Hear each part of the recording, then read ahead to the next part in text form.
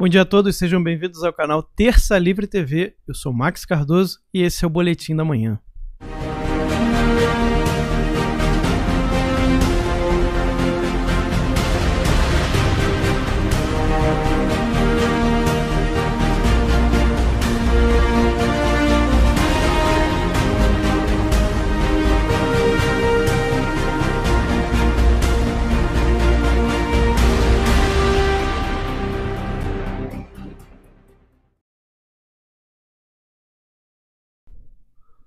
Isso aí, pessoal. Estamos de volta com o nosso boletim da manhã. Como sempre, a gente pede para você dar aquele like aqui embaixo, que a gente, para que a gente suba de relevância no YouTube. E além disso, se você não for inscrito no canal, se inscreva em nosso canal, acione as notificações para receber os avisos de novos vídeos. E ainda compartilhe o link dessa transmissão nas suas redes sociais, para que mais pessoas possam conhecer o canal Terça Livre TV. Vocês sabem que muitas das coisas importantes você não vai ouvir na grande mídia, você vai encontrar por aqui. E nessa manhã de segunda-feira, né? Segunda-feira é sempre aquele dia preguiçoso, né? Essa manhã de segunda-feira aqui, de 3 de agosto, tá comigo Ítalo Lorenzon e Daniel Lemos. Bom dia, senhores, tudo bom? Bom dia, Daniel. Bom dia, Max. Bom dia a todos que estão nos ouvindo. Muito bom estar aqui com vocês. Bom dia, Ítalo. Bom dia, Max. Bom dia a todos os espectadores do Terça Livre. Sejam bem-vindos. Uma excelente semana a todos nós. Deus abençoe você e a sua família aí no seu lar. É isso aí. Então vamos começando com a nossa pauta. É, teve uma notícia aqui.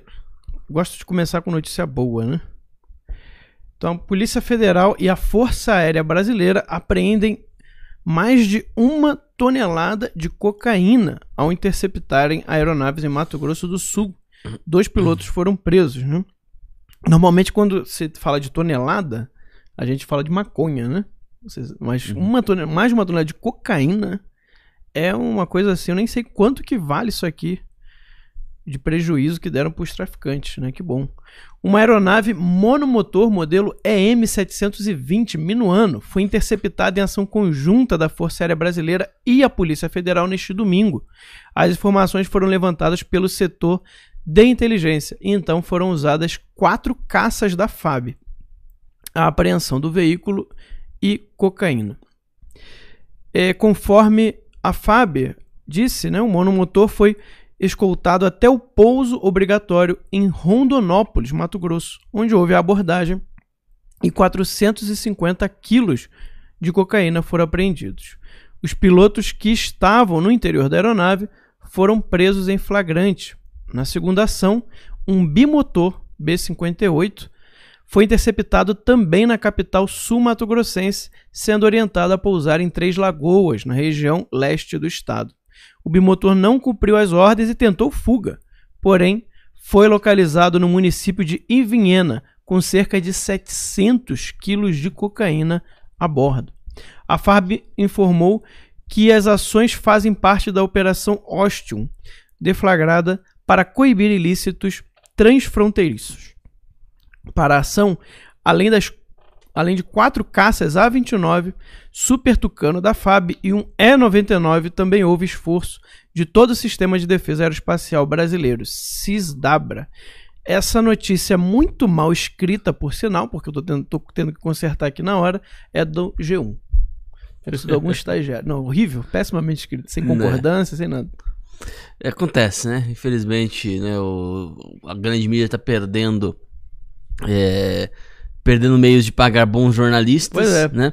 A verdade é que os bons jornalistas estão morrendo de velho, né? Sim. Então, é, a gente vai ter que reformar os, a, a, classe jornalística toda. Vocês não verão erros dessa forma no nosso portal, você pode ter certeza ah, não, disso. Com certeza. com certeza. Um outro erro de digitação às vezes acontece, né? Sim, mas, mas... é porque eu, eu tô fazendo a, a, a, a, a revisão e vai ter também uma pessoa para fazer a revisão, ou seja, não, não vai é. Não vai passar coisa, coisa assim, não. Um errinho ou outro, sim, mas. É, assim enfim, né? Bom, parabéns mais uma vez, né? A, a Polícia Federal pela, pela apreensão, né? Uma tonelada de cocaína. É um negócio assim. Eu tava fazendo uma conta de padaria aqui, dá mais ou menos uns 15 milhões de reais em preço de, de atacado na, na Nossa. Na, na, na, no mundo do crime. Né? É enfim, 15 milhões de reais é muita coisa, Sim. né? Simplesmente porque- tomaram prejuízo. Você vê, né? Eles, eles pagaram é, aviões, né? Pagaram os pilotos, que não deve cobrar barato, porque os caras sabem o risco É, que é, tão- não, isso, isso, isso é só o preço da droga desperdiçada, Apreendida, apreendida e jogada fora. Todo, também tem todo o preço da operação, tem todo, né, todo, todo o processo aí que também foi por água abaixo, né? Os aviões, tudo, tudo isso aí. Exato. Você sabe que outro dia eu tava lendo sobre um dos é, grandes traficantes de Minas Gerais. E ele já tava há muitos anos fora do radar, né? E aí foi, foi, foi pego num, numa blitz, né? Uma CNH falsa. Olha só. É só que ele já estava muitos anos sem, sem praticar crime. Mas sabe por que, que ele estava muitos anos sem praticar crime? Por causa de uma apreensão como essa, que deu um prejuízo tão grande que eles tiveram que desmantelar a organização. Olha só. Que a organização já estava há anos, né, fazendo. Só que pegaram não sei quantos também de cocaína, assim, uma apreensão grande. E aí deve ter dado um prejuízo desse tipo aí, né? Porque 15 milhões de reais de prejuízo, né? Você imagina. E aí eles tiveram que desmantelar a organização. Então você vê como é que funciona isso. isso Uhum, né? é, é- é óbvio que a gente fala, né? ah, Eles nunca vão pegar tudo. Uhum. Mas é, é- é esse é o trabalho que tem que ser feito. Exato. Não, porque esse tipo de operação, vejam vocês, eles não acabam com o tráfico, não acabam com o tráfico, de fato. Mas quando você vai dando prejuízo atrás de prejuízo, o que, que, que, que o tráfico precisa fazer? O que, o crime organizado precisa fazer? Ele precisa compensar esse prejuízo de outra forma, Sim. né? Como é que ele compensa? Subindo o valor da droga. Entendeu? Fica mais proibitivo é, é, é, o, o uso da droga, né? Por que você nunca vê heroína no Brasil, por exemplo? É difícil você ver heroína Sim. no Brasil. Sim. Heroína não se vende. Você, você vê heroína assim em, em ciclos da High Society, é um elemento assim extremamente é, é, é, selecionado, né? É, é muito difícil você ver. Você não vê heroína vendida na rua, por exemplo. Isso não tem. Praticamente. É, o cara não vai na favela pra o cara não vai na comprar favela pra heroína. comprar heroína. O cara não pede heroína na Sim. favela, né? É, é, por quê? Porque ah, trazer pra cá é muito caro, né? A heroína é produzida toda no, no- na, no- na região do Afeganistão, da, daquela, daquela região ali da, Uhum, da do Pérsia, Oriente né? Médio. do Oriente Médio, que é da papoula, né? E, e trazer pra cá é muito caro, é muito caro. Né? É, compensa mais você mandar para os Estados Unidos, que lá você tem um, Sim. não, Estados Unidos e, e, e- e Europa, né?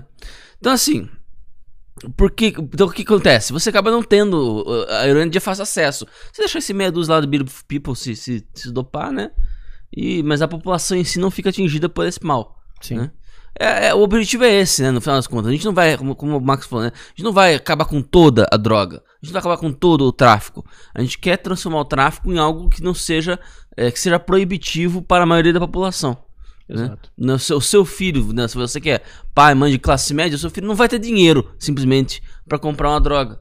Não vai ter acesso ali, né? de- de- É fácil, como, como ele tem hoje. Que- é, exatamente. Felizmente hoje tem, né? É, exato. Hoje tem, hoje tem. Hoje por 10 reais você compra um negocinho de, de cocaína.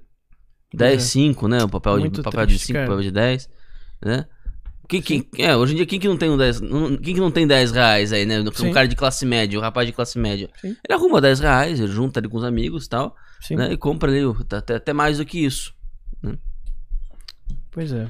Relevante dessa notícia é mais uma ação da Força Aérea Brasileira. A Força Aérea Sim. Brasileira que já estava atuando aí nos. É Força Aérea, eu falei, eu falei Polícia Não, Federal. porque a Polícia Federal acaba entrando e, É. e tendo que fazer a apreensão e catalogar o que, É, que porque foi uma ação conjunta, É. né? Da Polícia Federal e da Força Na verdade, você, você para você entender em casa, tem os E99, que é os RJ145, adaptado com um radar na parte da fuselagem de cima da aeronave. E eles fazem as rondas, às vezes, e conseguem detectar esses aviões, porque às vezes eles podem estar voando baixos, em numa altitude mais baixa que normalmente um satélite. Uhum, Às vezes eles podem procurar aqueles buracos negros que existem, às vezes. sim. Não sei se é o caso, eu estou só citando como eles conseguem ir driblando algumas Sim, sim. questões. E às vezes esse avião no ar, ele consegue detectar a aeronave que está e faz contato e orienta essa aeronave e pergunta: "Olha, fulano, você está voando irregular, nós não temos seu plano de voo, nós não temos a sua informação para onde você, de onde você, Você saiu, para onde, onde você vai." está indo. Então, como é que é? Aí o cara fica em silêncio, vai ficando em silêncio até que então ele chama ele então deve ter autorizado então os quatro ALX-29, Embraer também, os Uhum. dois, a- as duas tecnologias de aeronaves envolvidas nessa operação, diga-se de passagem, da Embraer. Algo que a gente tem e pode bater no peito e dizer que é nosso, né? Sim. O ALX-29, o A29, que é uma versão é, é, de para caça, né? Do, do é, chamado Super Tucano, que vem do T-27, né? Porque é o T-25 que hoje está na instrução da Academia da Força Aérea, o T-25 Tucano Universal, né? Universal. O T-27, que ficou lá também para instrução, e a, a melhoria, a adaptação que foi feita no T-27 transformou-se no ALX-29 da Embraer. Motor maior, um pouquinho da fuselagem, né? Um tamanho maior, para justamente carregar alguns elementos ali, surpresas para fazer esse tipo de operação. E aí eles chegam, falam, ó, você está sendo interceptado, porque tem a lei do abate. Era o que eu ia falar agora. O, se, o Esse segundo cara tem as fotos, se eu mandei para você no, no WhatsApp, ele pousou no meio de uma plantação. O Não se é segundo uma avião se arriscou. cana. É Porque ele não obedeceu a ordem de. Ele se jogou no meio do. Ele se jogou assim, ele deve ter sido pressionado, porque os aviões vêm assim, Uhum. né, colocando a asa próxima, vai tateando o, o avião para descer mesmo, forçando descer para não ter que abater. Inclusive eu te mandei aí no WhatsApp, mandei no do Ítalo ali também, não sei se o PH quisesse mostrar aí as fotos aí, mas no segundo avião caiu numa plantação ali, você falou Três Lagoas, né, já na divisa, quase na divisa do estado de Mato Grosso do Sul com Sim. o estado de São Paulo. Então, a Força Aérea que já estava trabalhando para levar os insumos, os EPs e outros materiais em todo o Brasil, com as aeronaves C-95, com C-130, com tantas outras aeronaves, todos empregando um maior número junto com as outras Forças Armadas, a Marinha e, a- e a- e o Exército, já desenvolvendo esse trabalho, está vigilante, não somente na ajuda para a questão de distribuir o material no combate à Covid-19, mas também vigilante no céu. E por isso que o lema, Max Ítalo e todos os telespectadores do Terça Livre, por isso que o lema da Força Aérea é asas que protegem o país. Então É, nós vemos ali aí, a- ó, as fotos, os- né? Tá no perfil oficial da Força Aérea Brasileira, Isso. tá? Aí Então, os são- dois A29, Vai passando aí, pra gente ver. aí ó, a Esse aeronave que a caiu aeronave. em Três Lagoas. E foi jogado pro chão. A outra pousou, né, no aeroporto de É, a Rondonópolis. outra obedeceu, né? É, a outra veio esse aí obedecendo. tentou fugir. Aí a próxima foto você vai ver o tanto de cocaína que foi apreendida. E tá aí. Nossa. Olha a sugestão da bandeira da onde estaria vindo aquilo ali, gente. Vocês pensaram? Viram aquilo ali? A cor? Provavelmente da Bolívia. Bolívia. Então aí vê a apreensão desse avião que. Então fica aí nosso agradecimento às forças de segurança, às Forças Armadas, também a Polícia Federal, a Polícia Rodoviária Federal, que semana passada também fez uma apreensão grande de drogas num caminhão. Não sei se vocês viram isso, relataram aqui. Então, muito obrigado a vocês que, que têm trabalhado constantemente. E é uma operação do, do governo do presidente Jair Bolsonaro, mesmo com a saída do juiz é, que estava defendendo só a biografia lá, né? Depois disso, continua o combate à corrupção e continua também o combate ao tráfico de drogas. E você falou do preço. Quanto mais você tira essa droga, quanto mais você tira essa droga da sociedade, a lei da oferta e da procura, né? Com certeza vai aumentar. E aumentando, pode ser que diminua o poder aquisitivo, o acesso de pessoas mais é porque hoje a gente sabe como é que o crack, como é que é a maconha, como é que é a cocaína, né? O acesso ele é mais facilitado por ser uma coisa. Quando você tira, na minha opinião, você sobe o preço, aumenta o preço e muitas pessoas deixam de comprar, sei lá. Ou então não, né? É, você Infelizmente dificulta, vai- né? vai- vai- você vai dificulta, dificultando mas o acesso, pro- vai pro dificultando crime. o trabalho deles. O, o, o- todo, todo cara que ele é traficante, né? Todo cara que é um, um pirata, né? Ou seja, as pessoas que trabalham com esse tipo de coisa, né? Trabalham, entre Uhum. aspas, né? As pessoas que fazem, praticam esse tipo de crime, é- ele só compensa se ele tiver um lucro muito alto. Então, se você reduzir muito a margem de lucro, o risco que eles começam a passar, o cara fala, pô, não vale a pena. Pra ganhar só isso, né, não, não vale a pena. Então, por, por isso que eu tô falando, você não precisa, pra acabar com esse tipo de coisa, fazer 100% de, de tudo que, que passa, porque isso é impossível, né? Sempre vai ter um jeito, sempre vai ter alguma coisa que vai passar. Mas se você conseguir uma margem boa de apreensão, começa a chegar um ponto que não é mais rentável pro cara. Aí ele vai ter que mudar, vai ter que fazer outra coisa e tal. Mas bem, é, dá os parabéns aí para a Força Aérea Brasileira para a Polícia Federal e esperemos que isso aí continue, que isso aumente, né? Porque nós temos uma fronteira enorme e você pode ter certeza que aviões como esses aí, esses dois que foram pegos, devem passar aos montes, tá? Então ainda temos aí um caminho muito grande pela frente. Então esperemos aí que isso continue é, é, de uma maneira assim que a gente consiga diminuir esse mal, né? Esse câncer do nosso país e, e, e do mundo também, né? Bem, vamos então para a próxima notícia. Tem uma notícia tá? Que o deputado Márcio Labri ele está tentando abrir uma CPI para em relação ao caso Adélio Bispo, tá? O deputado federal Márcio Labre do PSL afirmou na quarta-feira passada que será necessário esperar a troca da presidência da Câmara dos Deputados, cargo ocupado hoje por Rodrigo Maia, para dar andamento à comissão parlamentar de inquérito do caso Adélio Bispo. A CPI foi proposta pelo parlamentar há cerca de dois meses, inclusive ele esteve aqui ao vivo falando disso, em maio. E segundo Labre, trata-se da incapacidade das autoridades de investigação para elucidar um caso que deixou muito pouco, muito pouca resposta. E um conflito objetivo de versões entre a Polícia Federal, de Juiz de Fora, e o Ministério Público Federal, ou seja, versões completamente diferentes para o crime. Né? Essa, essa frase, essa afirmação é do próprio deputado Márcio Labre.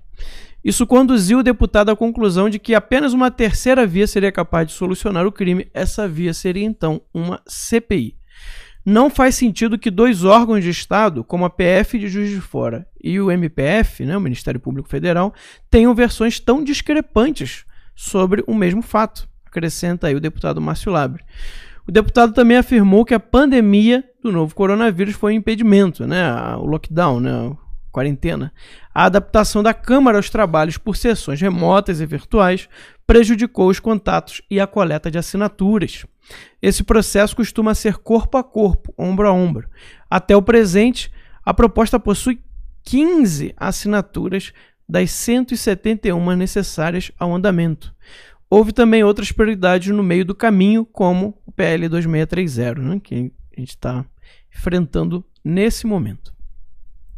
Bem, é, então é uma coisa que precisa ser feita, né? Porque são gritantes os fatos e, e a conclusão, não, não, ela, ela além de, de, de ser assim insatisfatória, ela não explica os fatos. Esse é que é o problema. Não, a, a, a conclusão é, a que chegou a, a PF do Juiz de Fora foi, foi um negócio assim hediondo, obsceno obsceno. Como é que você pede, pega um, um, um sujeito que não tem condição material nenhuma, se descobre que ele participou de cursos de tiros que valem, que, que, custam mais do que o ganho mensal dele. O cara viajou para Juiz de Fora, esteve lá presente, tem os seus celulares, tem Vários. mais de um celulares, mais de um celular, mais de um notebook, é mais um notebook que também vale muito mais do que ele pode pagar comete o crime contra o então candidato à presidência da República. De repente aparecem quatro advogados, sabe Deus da onde, para defendê-lo. Tem o seu nome incluído na lista da, da, da, entrada do, do Congresso Nacional. Pois é. Sendo que ele, é impossível ele estar lá naquele momento. Sendo né? que é impossível ele estar lá no momento, né? no, no momento, no dia do crime, né? Tem o seu nome incluído por alguém, por um. forçosamente por outra pessoa. Sim. Né? E ele, e ele agiu sozinho? Bom, vamos lá. Vamos admitir, Ad. É por isso que eu tô falando. A, a, a, gratia argumentandi. É isso que eu tô falando. Vamos admitir que isso tenha sido que isso tenha ocorrido. Qual é a explicação dos outros fatos? É, essa, essa é a questão que eu, que eu toco também. É. Não tá explicado esses fatos. Então como é que você pode concluir uma investigação se tem vários fatos importantes que não estão explicados? Ele, pode até chegar à conclusão que ele agiu sozinho. Então agora me explica o, é. as outras coisas. Justamente. Justamente. Então, assim, e, e, e, não, e, não, adianta dizer que nós não achamos nexo causal entre, entre os diversos fatos, porque o, o nexo causal tá dado. Né, a, a, a, a, relação entre as duas coisas, é nexo causal não, a relação entre, as, entre, entre os fatos tá dado. Né? Como, por que, que alguém entrou com o nome dele na Câmara dos Deputados? Quem que pagou os celulares dele para ele frequentar? Eh, quem, quem, quem, que, quem que pagou o curso dele para ele frequentar junto com a família Bolsonaro? Né? E os, e, e os celulares dele, por que, que não deixam, não deixam a gente periciar o celular? O que, que, tem de tão importante assim no celular assim? Por que, que o que, que tem tão, tão, tão, tão fundamental? Pegaram os nossos celulares aqui, o celular do, do Alan, os, os, os, computadores dele, periciaram, fizeram revirar aquele negócio de ponta cabeça. Sem nenhum indício de crime. Sem nenhum indício de crime. O cara comete um crime e nego não deixa a gente periciar o celular.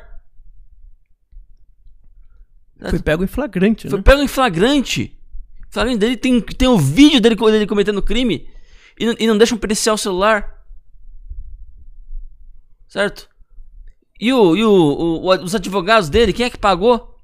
Tudo bem, ah, o advogado está protegido com a coisa da Constituição, né? Relação entre a confidencialidade entre cliente e, e, e, o, entre o cliente né, e o advogado, enfim. Né? Tudo bem. Mas tudo, tudo o resto, absolutamente, isso é obsceno.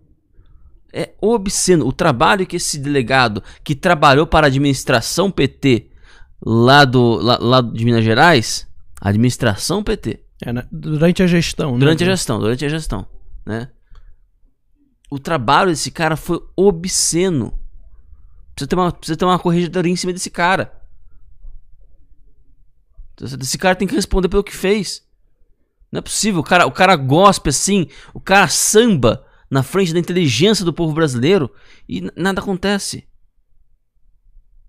Como assim, velho? É. Como assim? O elemento agregador que a gente pode colocar nisso aí é o fato da justiça também ter proibido o Adélio de dar a entrevista.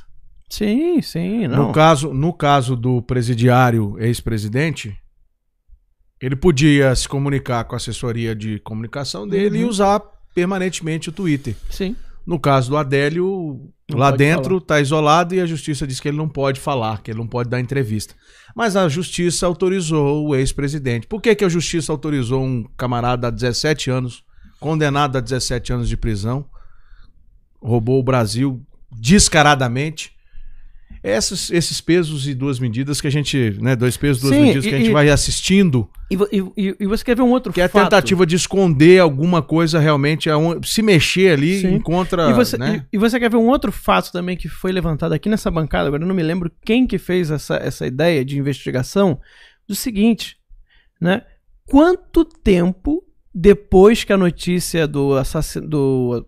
Perdão, da tentativa né, de homicídio do então candidato Jair Bolsonaro, quanto tempo depois daquela que aquela notícia saiu, quanto tempo depois que a notícia saiu, os advogados chegaram em Juiz de Fora? Se apresentaram lá para defender os quatro advogados das melhores empresas de, de advocacia do Brasil. Quanto tempo levou? Porque você pensa o seguinte, Ítalo, se, se o cara tá em São Paulo, tá? E aí ele recebe a notícia do que aconteceu né? Que não foi o Adélio que ligou. Depois do. Quando ele foi pego em flagrante, ele não ligou para quatro advogados para eles chegarem lá. Alguém ter, ter, ter, ter falado para os caras irem lá. Né? Mas aí vamos dizer que está protegido pelo, é, é, pela questão do sigilo profissional. Mas se ninguém ajudou o Adélio, seja lá quem contratou, só pode ter sabido antes, é, depois do fato acontecer. Então ele tem que ter ligado pro cara para um advogado em São Paulo. O advogado tem que comprar a passagem de avião. Não, foi de jatinho. Calma. Então, ou seja, tem, ele tem que ir lá. Você demora 40 minutos para preparar um, um, um, o, o jatinho particular para chegar. Então ele tem que contratar o jatinho, ele tem que ir lá. Demora os 40 minutos, depois o tempo de viagem se e mais o tempo pronto também, de né? aeroporto para chegar. Porque se já tivesse pronto, então alguém sabia antes de acontecer. É. Então, quer dizer, se a gente fizer essa conta, né? Eu não tô, não tô afirmando nada porque eu não fiz, mas eu acho interessante fazer essa conta, né? se, se, alguém tiver essas informações. Quanto tempo depois da notícia os advogados chegaram lá? Né? Daria tempo, né? Será que eles chegaram? É, é, realmente foi um tempo assim de quem só soube depois? Ou foi algo tão rápido que a única conclusão possível, materialmente falando, né, por questão de distância e de tempo, Só se alguém já tivesse com as coisas preparadas antes. Só se alguém já estivesse sabendo antes. É uma, uma, coisa, uma, uma, um questionamento que a gente precisa fazer. Né? Uma linha de investigação precisa ser feita. Ah, pode investigar e depois não. Eles chegaram, tá tudo registrado, beleza. Mas é, é um questionamento que fica. Muita coisa ficou sem, sem ligar, muita coisa ficou sem ligar um ponto ao outro. E isso a Polícia Federal deveria fazer, e o próprio Procurador-Geral da República também soltou dizendo que estaria aí em vistas e que o caso, não acho que foi numa entrevista, se não me falha a memória, que o caso deveria ser reaberto para tentar ligar esses pontos que ficaram faltando. Isso que o Marcos colocou, eu até te interrompi, mas falando assim, no caso, para comprar passagem para Juiz de Fora, eu já tive a oportunidade de dar um curso em Juiz de Fora e o avião, por exemplo, esse voo que eu fiz, Max, ele saía de Brasília, ia a Congonhas, de Congonhas você trocava de aeronave e ia para Juiz de Fora. Então, quer dizer, o tempo que você está levantando já é absurdo. Então, provavelmente, esse o, o, o que a gente faz de, de confabulação no, no assunto, esse avião já estava, de certa forma, preparado.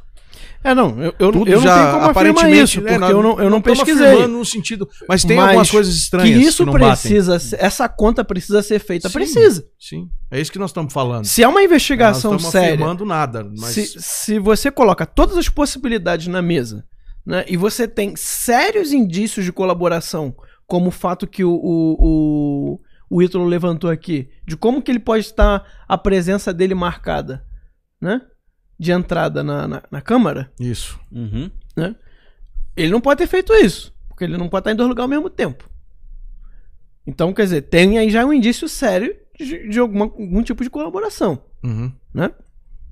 Então, se você trabalha, né, qualquer investigador sério trabalha com isso, o que, que ele, vai, ele vai pensar? Não, vamos olhar todas as possibilidades. Isso precisa ser investigado, isso precisa ser dito.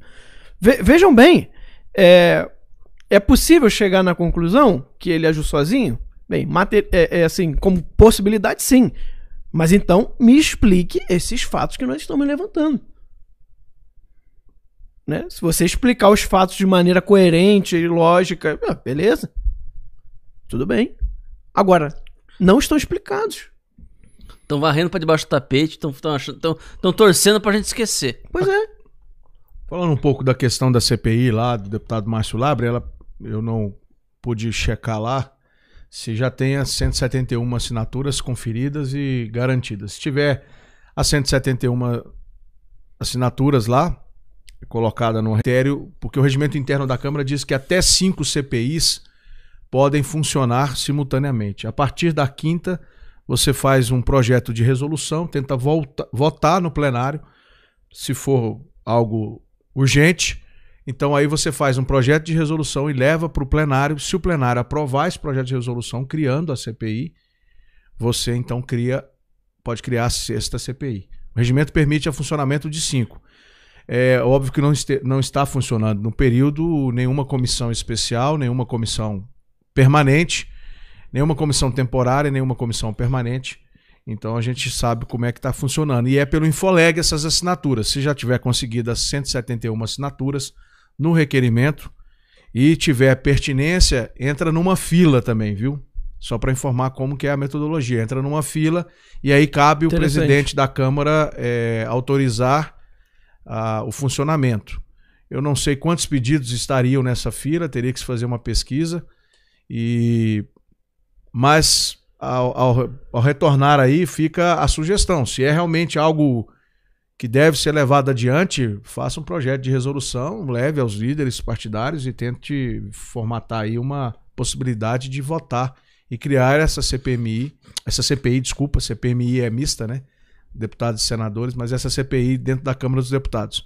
É um trabalho extremamente cansativo e complexo, mas à medida que as coisas vão se organizando e muitas pessoas podem se voltar às pautas do presidente e colaborar com a questão, pode ser que estejam afeitos ao tema no sentido de apoiar isso, inclusive votando esse projeto, esse projeto de resolução dentro é, do, e, e, e aí, o, o, o, Daniel, não é nem tanto uma questão de quem apoia ou não apoia o presidente, né?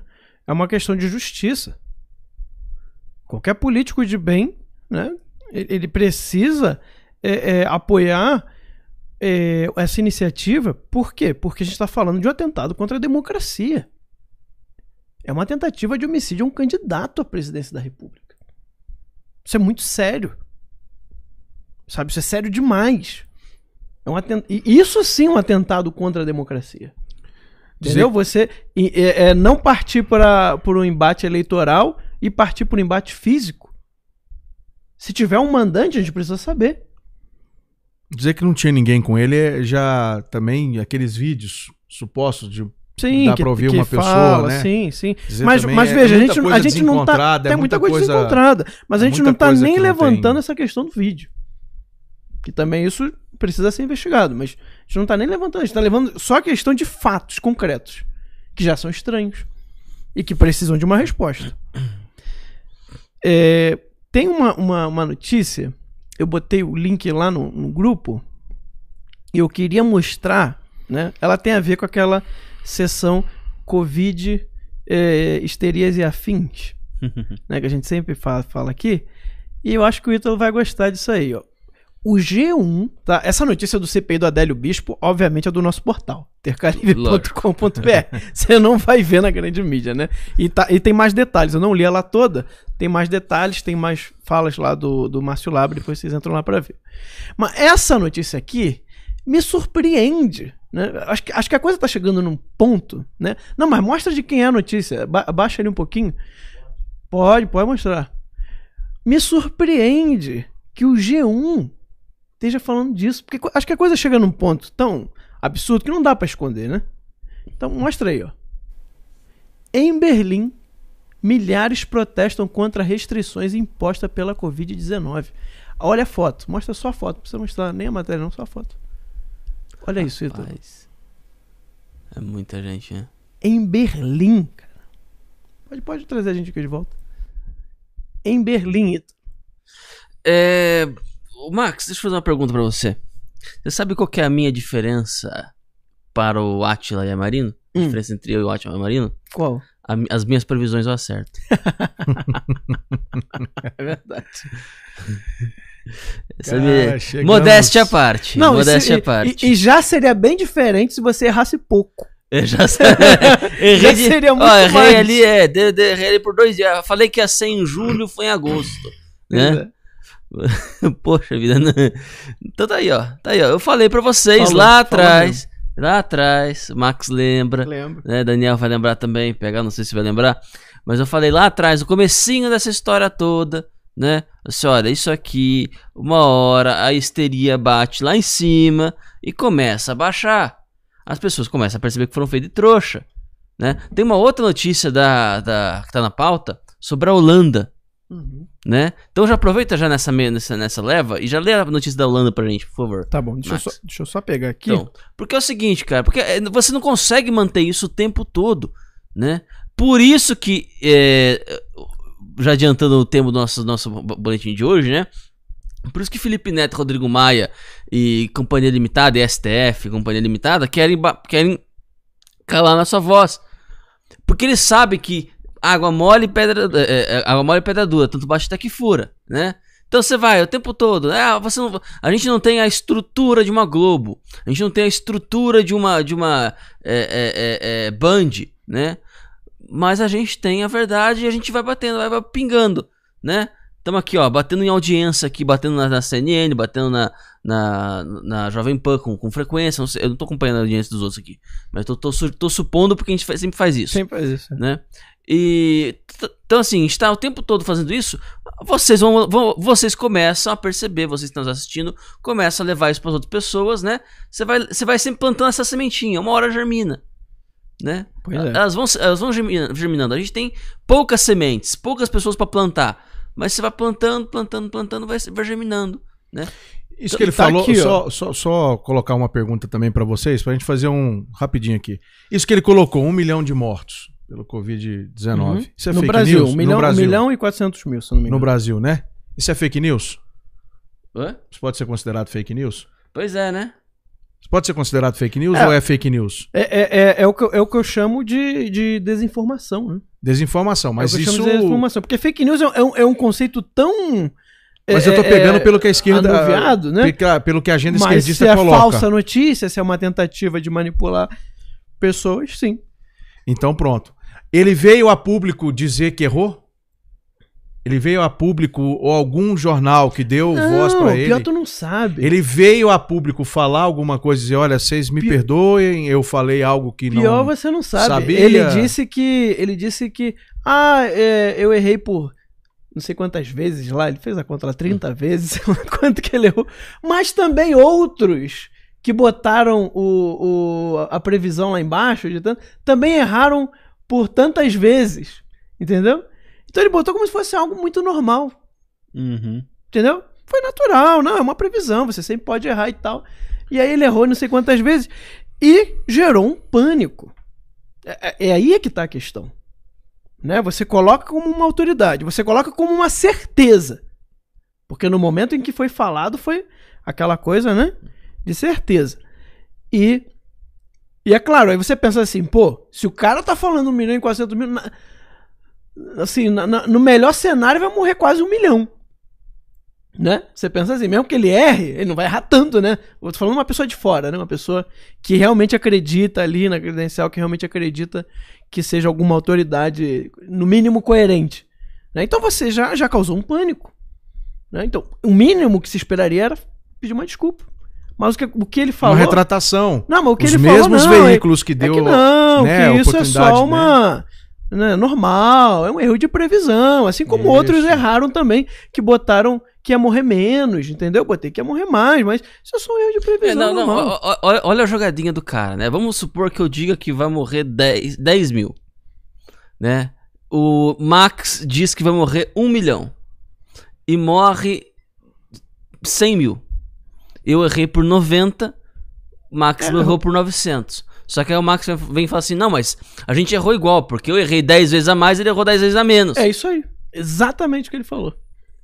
né? É isso aí. Então quer dizer, mas peraí, mas quando você multiplica um fator maior, né? eh, vo- vo- Você, você, você alcança um, um- um valor maior. É a diferença é maior. Porra, alguém não percebe que de, de 10 mil pra 100 mil e de 100 mil pra 1 milhão Exato. tem um abismo aí, porra?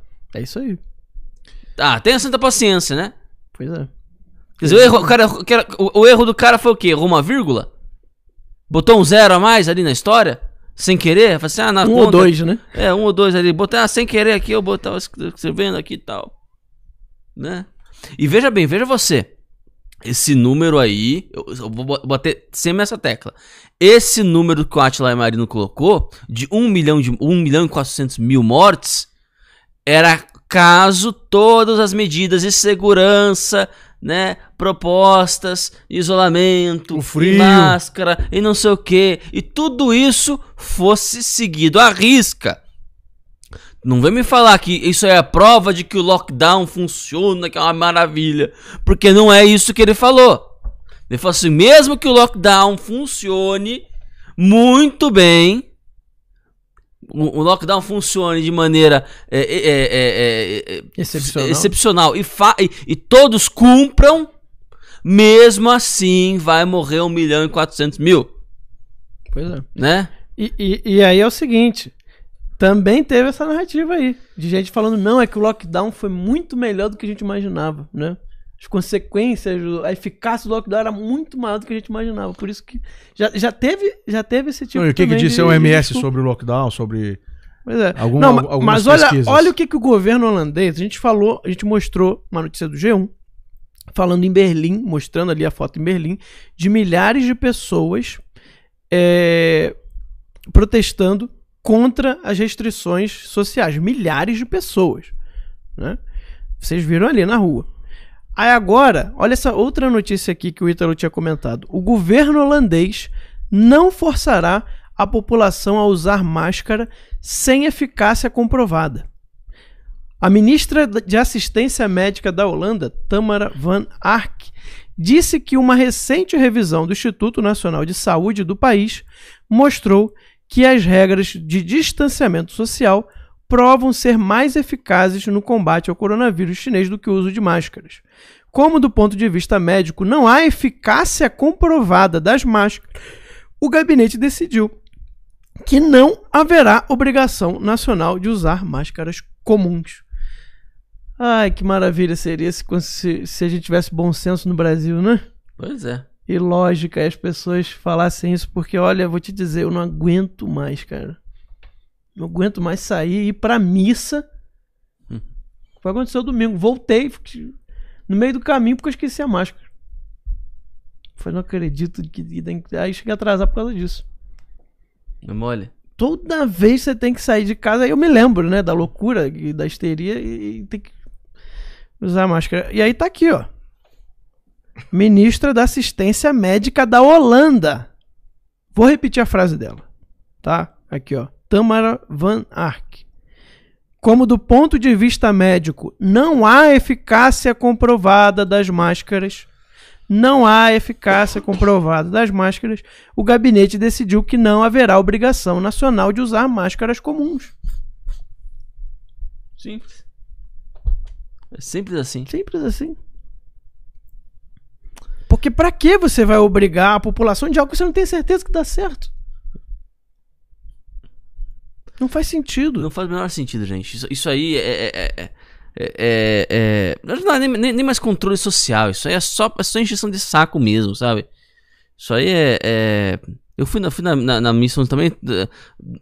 Dois bancos. É, é, era duas pessoas por banco só. Aí o mais engraçado, eu sentei com a Jéssica num banco, uhum. né? O rapaz foi muito, muito gentil, inclusive, né? Que tinha um, um, um lugar num banco, outro lugar no outro banco. A gente ia, ia ter que sentar separado, o rapaz de um dos bancos, né? Não, Sim. a gente troca tal, você senta com a, com a, sua namorada aqui. Sentei lá com a Jéssica no banco da, da, do, do coisa, veio a mocinha e falou assim, viu? Tem que, sepa, tem que sentar separado. Eu assim, mas é minha namorada, eu vim com ela, cara, senti. pois é. É, alguns lugares até já aceitam isso, viu? Se é. for pessoas da mesma família, é. que convivem.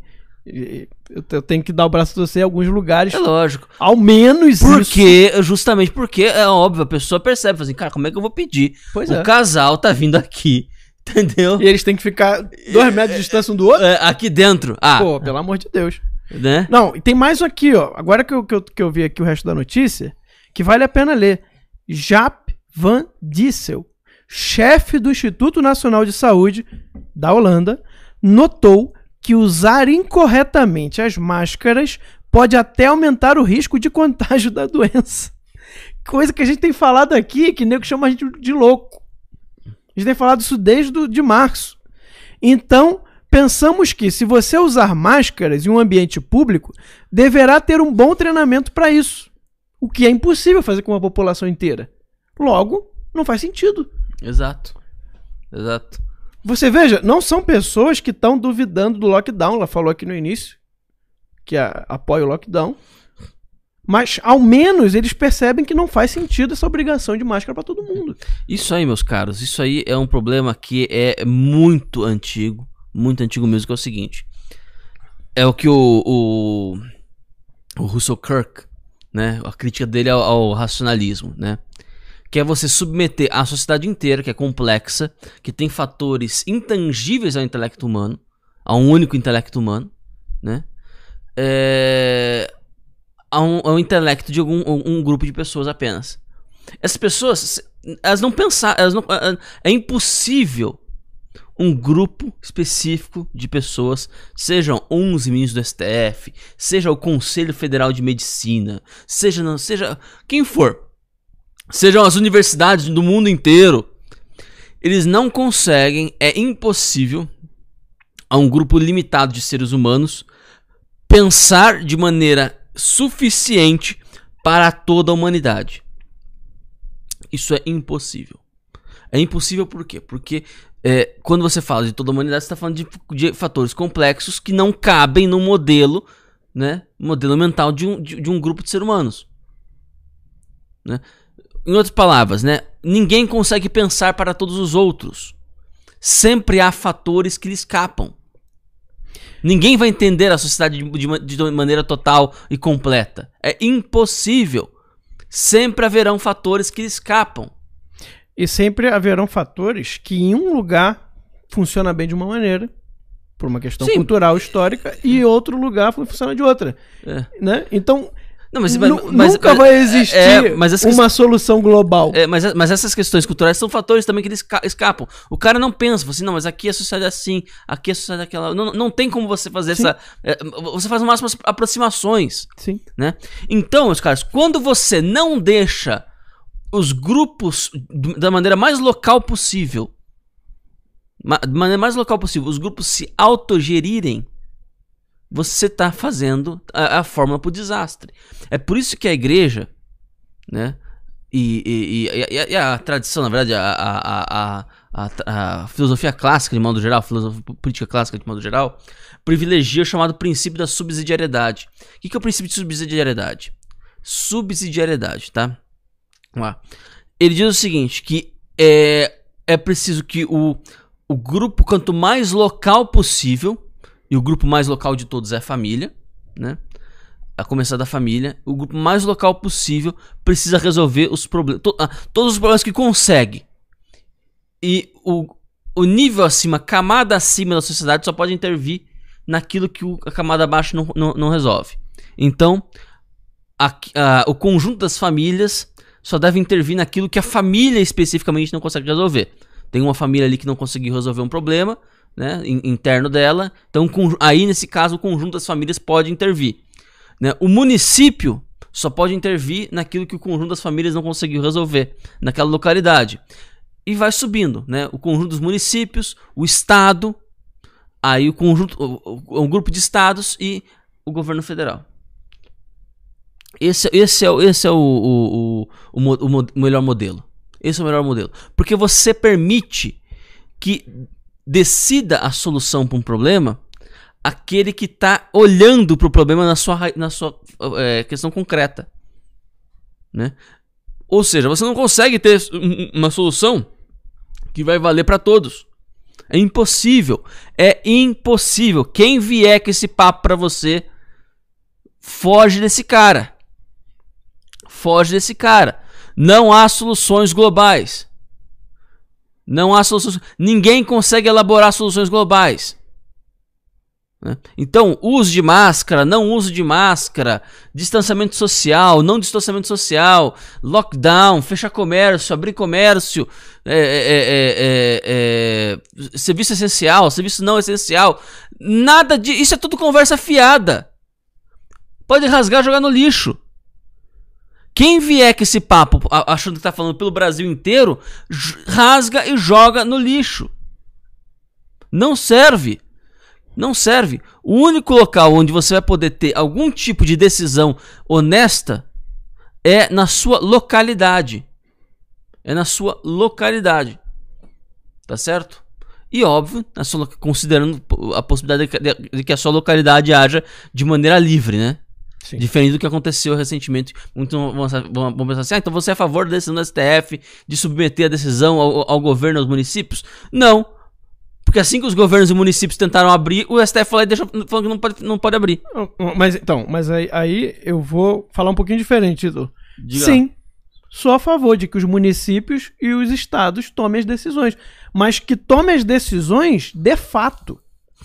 Ou seja, Perfeito. se eles acharem que tem que flexibilizar, então o STF não pode agora. Ah, não, agora vocês não têm mais autonomia. Ué, então nunca tive. né? É, é, uma autonomia falsa. Sabe? É, sabe aquela coisa que o pai fala com o filho? O filho, pai, você não deixa eu escolher as coisas, você não deixa eu escolher, você não deixa eu decidir. Ah, então agora eu deixo você decidir. Aí o filho decide e falou: não, mas isso não. é a mesma coisa, né? Não, ó, vocês têm autonomia. Ah, então vamos fazer o lockdown, não sei o quê. Muito bem, faz o lockdown. Não, mas agora já não tem mais problema, não precisa mais lockdown. Não, não aí não pode. Isso não é autonomia? Ou seja, se houvesse uma autonomia real, aí são dois fatores, o, o Ítalo, que eu acho que, que eu queria colocar aqui. Né? Primeiro, não que não tivessem essas decisões de governos e municípios coordenadas. Né? Porque aí também não há autonomia de fato. O que há é uma coordenação para chegar a algum objetivo. Né? Em que você tem leis nos estados idênticas. Redação de leis idênticas em vários estados. Então, quer dizer, não foi o estado que decidiu. Não foi um governo, não foi um município. Foi algum grupo que decidiu e que foi passando para os outros. É como, é como se fosse, né? Você ter o livre mercado, só que todo mundo cobra o mesmo preço. Então não é livre mercado, isso é cartel. Foi algo parecido que aconteceu. Porque nós somos a favor de uma maior autonomia para os municípios e para os estados, mas uma autonomia verdadeira, real. É impossível que num país de 27 estados todos decidam a mesma coisa do mesmo modo sobre o mesmo assunto. Não dá, é impossível. Para que isso aconteça é que tem algum grupo de fora coordenando as coisas. E aí não é autonomia, isso autonomia é irreal. Por isso que, que exatamente o que a gente queria aconteceu? Não. Só de nome, mas na prática não foi isso que aconteceu. Porque se fosse, o que, que ia acontecer? Ah, o, o Bruno Covas fez lá o negócio para proibir é, carros, né? Fazer aquele regime. E aí superlotou a, a, a, o transporte público. Né? Então, isso, isso supondo alguém que acredita realmente em lockdown e tudo isso. Né? E aí um outro estado do lado, o que, que ele ia fazer? Pô, esse negócio não funciona. Não vou botar aqui, porque deu errado lá. Né? É, é assim que funciona nos Estados Unidos. Né? Você tem uma lei de um estado. Quando dá ruim, os outros estados olham aquilo e falam: não, aqui não vai ter isso não. Porque olha a confusão que deu lá naquele outro estado. Entende? Então, se realmente houvesse uma autonomia de estados e municípios, seria algo bom. Tá? Mas real. Porque um ia vendo os erros dos outros e não ia cometer mais os mesmos erros, ia melhorando e ia fazer leis específicas para aquela realidade ali daquele município. Né? Mas não foi isso que a gente viu acontecer. Não foi isso que a gente viu acontecer. Perfeitamente. Quer comentar alguma coisa, Daniel? Depois dessa aula que vocês deram, eu só tenho a concordar com, com as excelências. Vota com o relator. Né? Voto né? com os relatores aqui. Maravilha. Tudo, tudo se você, por exemplo, eu, eu particularmente gosto de acompanhar todos essas, essas, esses debates sobre o uso ou não, sobre. O, o que incomoda é ver as pessoas reclamando de, por exemplo, nós temos relatos de que lá no Rio Grande do Sul estão há 110, 120 dias parados. Eu tenho falado com o pessoal do Rio Grande do Sul. Belo Horizonte há mais de 130 dias parados. O prefeito lá fazendo de tudo para bloquear as pessoas, as pessoas já indignadas, as pessoas querendo retornar. Então, cada ação a gente vê. E a gente viu onde você mesmo falou também, em alguns momentos onde os estados e os municípios é, se colocaram no, no campo da reabertura do comércio e na organização de saber o que que ia, o que que não vai, o que que pode, o que que sempre escalonado. Aqui em Brasília, por exemplo, foi feito isso escalonado, né? Mesmo assim, vem uma juíza de primeira instância e tenta cancelar o que o, Teve, o governo fez aqui no Centro Federal. Aconteceu né? no DF. O Aí o governador foi lá e falou: Mas peraí, eu... chamou a juíza e falou: Vem cá, olha, estamos fazendo tudo com base na ciência. É, é ciência. Sim. Mas nós temos que reabrir, está escalonado, não vai todo mundo pra rua, não vai não, todo e, mundo e, e, começar a, a, a, abraçar e a beijar na rua, põe aí a, a máscara, todo mundo colocou, mas tem aí, multa aqui em Mas Brasília aí a questão que eu, que eu, levanto, o, o, Daniel, né, talvez, pode ser até uma ignorância minha, mas isso não fere a harmonia entre os poderes? Há muito tempo que essas porque, medidas judiciaristas interferindo em, interferindo em executivo. Porque o executivo tem pleno poder para decidir sobre aquilo, né? Foi uma, uma, uma lei, inclusive aprovada é, pelos deputados, né? E aí, ou seja, o legislativo aprovou, o executivo foi lá e colocou em prática. E aí chega uma juíza e suspende. Assim. Sabe, é, é um negócio que, que, que eu fico já Pô. por outro lado, nós tivemos o Ministério Público também, e aí a gente tem que fazer esse contrapeso, em alguns momentos, em alguns lugares, eu recebi também de internautas lá no meu Twitter, Daniel R. Lemos, e no Instagram também, onde a gente sempre, eu fico sempre recebendo, eu queria agradecer. Eu não consigo ver todas as mensagens, mas eu recebi, é, por exemplo, o Ministério Público é, do Estado de Minas Gerais abrindo, é, retomando, mandando retomar as atividades em algumas cidades, acho que 21 cidades de Minas Gerais.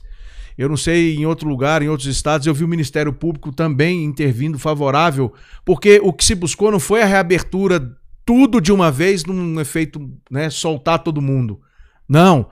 aqui em Brasília e em outros lugares estão vindo de forma escalonada, respeitando o que é a atividade que é menos problemática, atividade que é né, respeitando todo uma, um, um conceito, um estudo, se não vai levar em consideração o governador, certo? O secretário de saúde e a equipe de saúde que existe. O que tem no Ministério da Saúde hoje, apesar de nós termos lá um ministro interino. Você acha que ninguém está conversando e ninguém está falando nada? É simplesmente da minha cabeça porque eu estou pressionado, porque o povo quer que eu abra o comércio? Não! Não é isso, não é que se percebeu que era possível voltar às atividades normais em alguns setores, inclusive não só pela questão da economia, mas também por questões de, eh, de doenças psíquicas, doenças que as pessoas estavam. Aumentou, por exemplo, a gente não pode deixar de falar nunca disso. Aumentou violência doméstica, aumentou mortes isso não vai somar nas estatísticas nem nada, mas aumentaram sim suicídios. Aumentou é, a, a criminalidade em alguns aspectos. As pessoas perderam seus empregos, muitos se veem num, numa necessidade gritante, às vezes muitos se perdem nesse caminho e passam a cometer pequenos delitos. Isso tudo é uma realidade que precisa ser colocado como uma realidade social a ser debatida.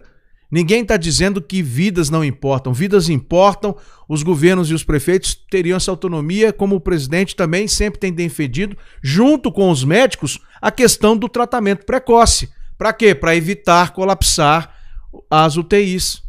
Mas muitos também estão se negando, muitos governadores e prefeitos estão se negando a desenvolver o tratamento precoce já sugerido. Ah, não tem eficácia, não tem comprovação, não tem isso, não tem aquilo. Ora, bolas, nessa guerra se utiliza as armas que é possível para poder salvar vidas. Independente de você ter ou não. E parabéns aí aos nossos profissionais de saúde que estão trabalhando e que estão utilizando. Ontem eu vi um outro vídeo de um médico falando sobre isso, de que está usando o tratamento precoce e está conseguindo diminuir a chegada de pessoas às UTIs e posteriormente ao óbito. Isso é muito importante, as pessoas têm que se conscientizar disso, fazer pressão nas suas autoridades municipais, nas suas autoridades. Ah, mas é muito difícil. É realmente muito difícil. A gente não está dizendo que é fácil, mas a gente sempre pede: organizem-se em grupos nos seus municípios, vão lá, procurem o judiciário, procurem. Ah, mas o judiciário não vai nos ouvir, o judiciário não vai nos fazer a gente tem que gritar. Só nos restou, nesse momento em que muitas coisas são caçadas dos nossos direitos censura, liberdade de expressão, liberdade de opinião, como nós temos assistido só nos restou então gritar nas redes sociais. E aí mesmo assim nos querem nos calar, certo? Mas não desistam.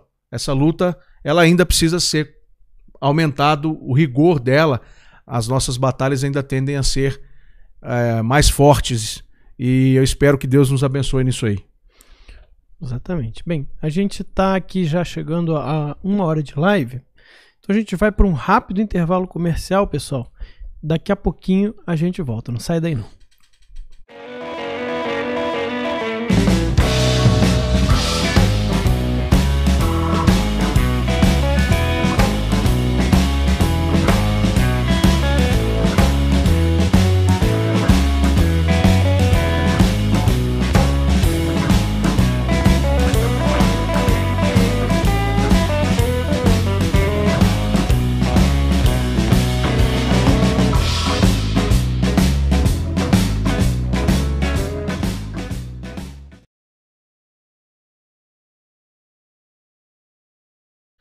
Nada está na política que antes não tenha passado pela literatura.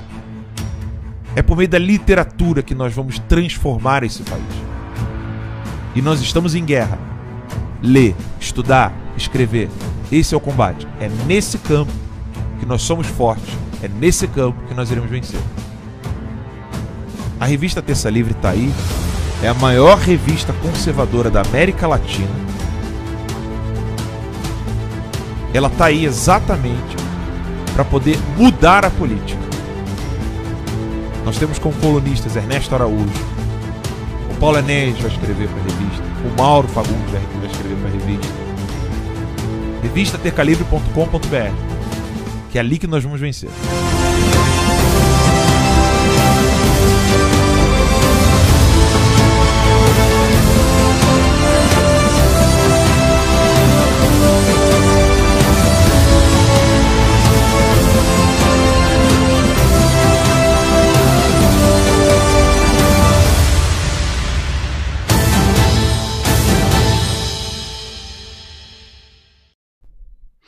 Isso aí, pessoal. A gente está de volta com o nosso boletim da manhã. E, como toda segunda-feira, a gente tem aquele relatório especial do Daniel Lemos sobre as pautas importantes dessa semana. Né? Então, antes da gente falar da notícia do dia, eu passo aqui a palavra para ele. Daniel, o que, que tem aí de importante, o que, que tem de interessante para a gente ficar de olho essa semana no Congresso? É, na semana passada, a Câmara e o Senado, eles. A Câmara, especialmente na quarta-feira, ela teve uma sessão de quase 15 horas. Quem acompanhou, acompanhou lá nas minhas redes sociais acompanhou junto comigo lá, que a gente começou cedo e foi até quase perto das 3 horas da manhã. E foram votadas cinco medidas provisórias e um projeto de lei do Senado Federal que foi é, votado no mesmo, no mesmo teor que veio do Senado e já foi para sanção, que é um, pro, um projeto que libera crédito é, para a, os profissionais liberais. Um, um processo, um projeto de um senador que já foi então encaminhado para a sanção do presidente da República. E foram votados cinco medidas provisórias até três horas da manhã, e na quinta-feira o Senado já se reuniu para tentar deliberar também sobre essas medidas provisórias. E na pauta da Câmara consta uma dessas que retornou do Senado com uma alteração, que é aquela medida provisória 946, que trata do saque, é, permitir o trabalhador o saque de até um salário mínimo, R$ 1.045, do Fundo de Garantia do Tempo de Serviço, FGTS, em razão da pandemia do Covid-19. Essa medida provisória ela já tem efeito de lei e ela já está com um cronograma vindo desde junho e julho, o sax, e o Senado aprovou, alterou o texto, na verdade, por isso retornou à Câmara, para que também pudesse permitir, durante o período da pandemia, a movimentação da totalidade dos recursos da conta vinculada ao FGTS no regime do saque aniversário. E pelo trabalhador que tenha pedido demissão. Esse é um ponto que não foi ainda acertado com o governo. O relator no Senado Federal foi o líder do governo, o senador Fernando Bezerra Coelho, do MDB do Pernambuco, e ele ressaltou que, apesar da aprovação e dessa mudança no texto da 946, não existe aí com o governo, o governo não tem o compromisso de sanção com a modificação. E também na pauta da Câmara, seguindo o que nós temos adiante, nós temos a medida provisória 950, que é uma medida provisória que trata sobre as medidas temporárias de emergência destinadas ao setor elétrico para enfrentamento do estado de calamidade pública e também a emergência de saúde pública de importância internacional decorrente da pandemia do coronavírus. Essa medida provisória ela trata da questão da isenção das contas de luz e dispõe também de um apoio ao setor elétrico na questão do que for pertinente a eles os recursos necessários para apoiar essas ações de pessoas até 220, até um, um máximo gasto de 200 kWh pudessem ter as, a isenção durante esse período da pandemia. A medida provisória já está valendo e ela, de certa forma, perde a eficácia é, essa semana já na Câmara, então, mas está lá para ser pautado, está na votação, na pauta da semana de amanhã, na verdade. A medida provisória 952, que dispõe sobre a prorrogação do prazo para o pagamento de tributos incidentes sobre a prestação de serviços de telecomunicações. A medida provisória 983, que trata das assinaturas eletrônicas em comunicações com entes públicos e em questões de saúde e sobre as licenças de software desenvolvidos por entes públicos. É uma maneira também de desburocratizar um pouco essas licenças e tudo isso que tem envolvido a questão de tecnologia da informação dentro do governo nesse processo de melhoria de comunicação das informações pertinentes junto ao governo federal e à população para que se dê as informações utilizando os sites, a, a renovação de, de licenças de software, essas coisas todas aí. Também existem outros projetos de lei que eu já comentei aqui, projetos que estabelecem, por exemplo, o projeto 2306 de 2020, que estabelece o incentivo fiscal a favor de empresas que firmarem parceria com universidades e institutos de ensino superior ou de pesquisa para o desenvolvimento de projetos relativos à Covid-19. O projeto de lei 1485 da deputada Adriana Ventura, do Novo de São Paulo, que também visa duplicar as penas de crimes contra a administração pública quando estes forem praticados no período aí por ocasião da calamidade pública. A pauta da Câmara está repleta, são 13, vou ser mais exato, 12 itens que podem ser acessados lá no câmara.leg.br ou acompanhado. Eu posso estar tá falando sobre algum tema específico lá, vocês que têm alguma dúvida, então acessa lá câmara.leg.br, vá lá em atividade legislativa, procure plenário e tem lá a pauta da semana que vai ser trabalhada nessa terça, nessa quarta e nessa quinta-feira. A notícia do Senado Federal que eu queria destacar, Max, é que uhum. o Senado Federal Aliás, o presidente do Congresso, de certa forma, o presidente do Congresso, prorrogou três medidas provisórias recentemente.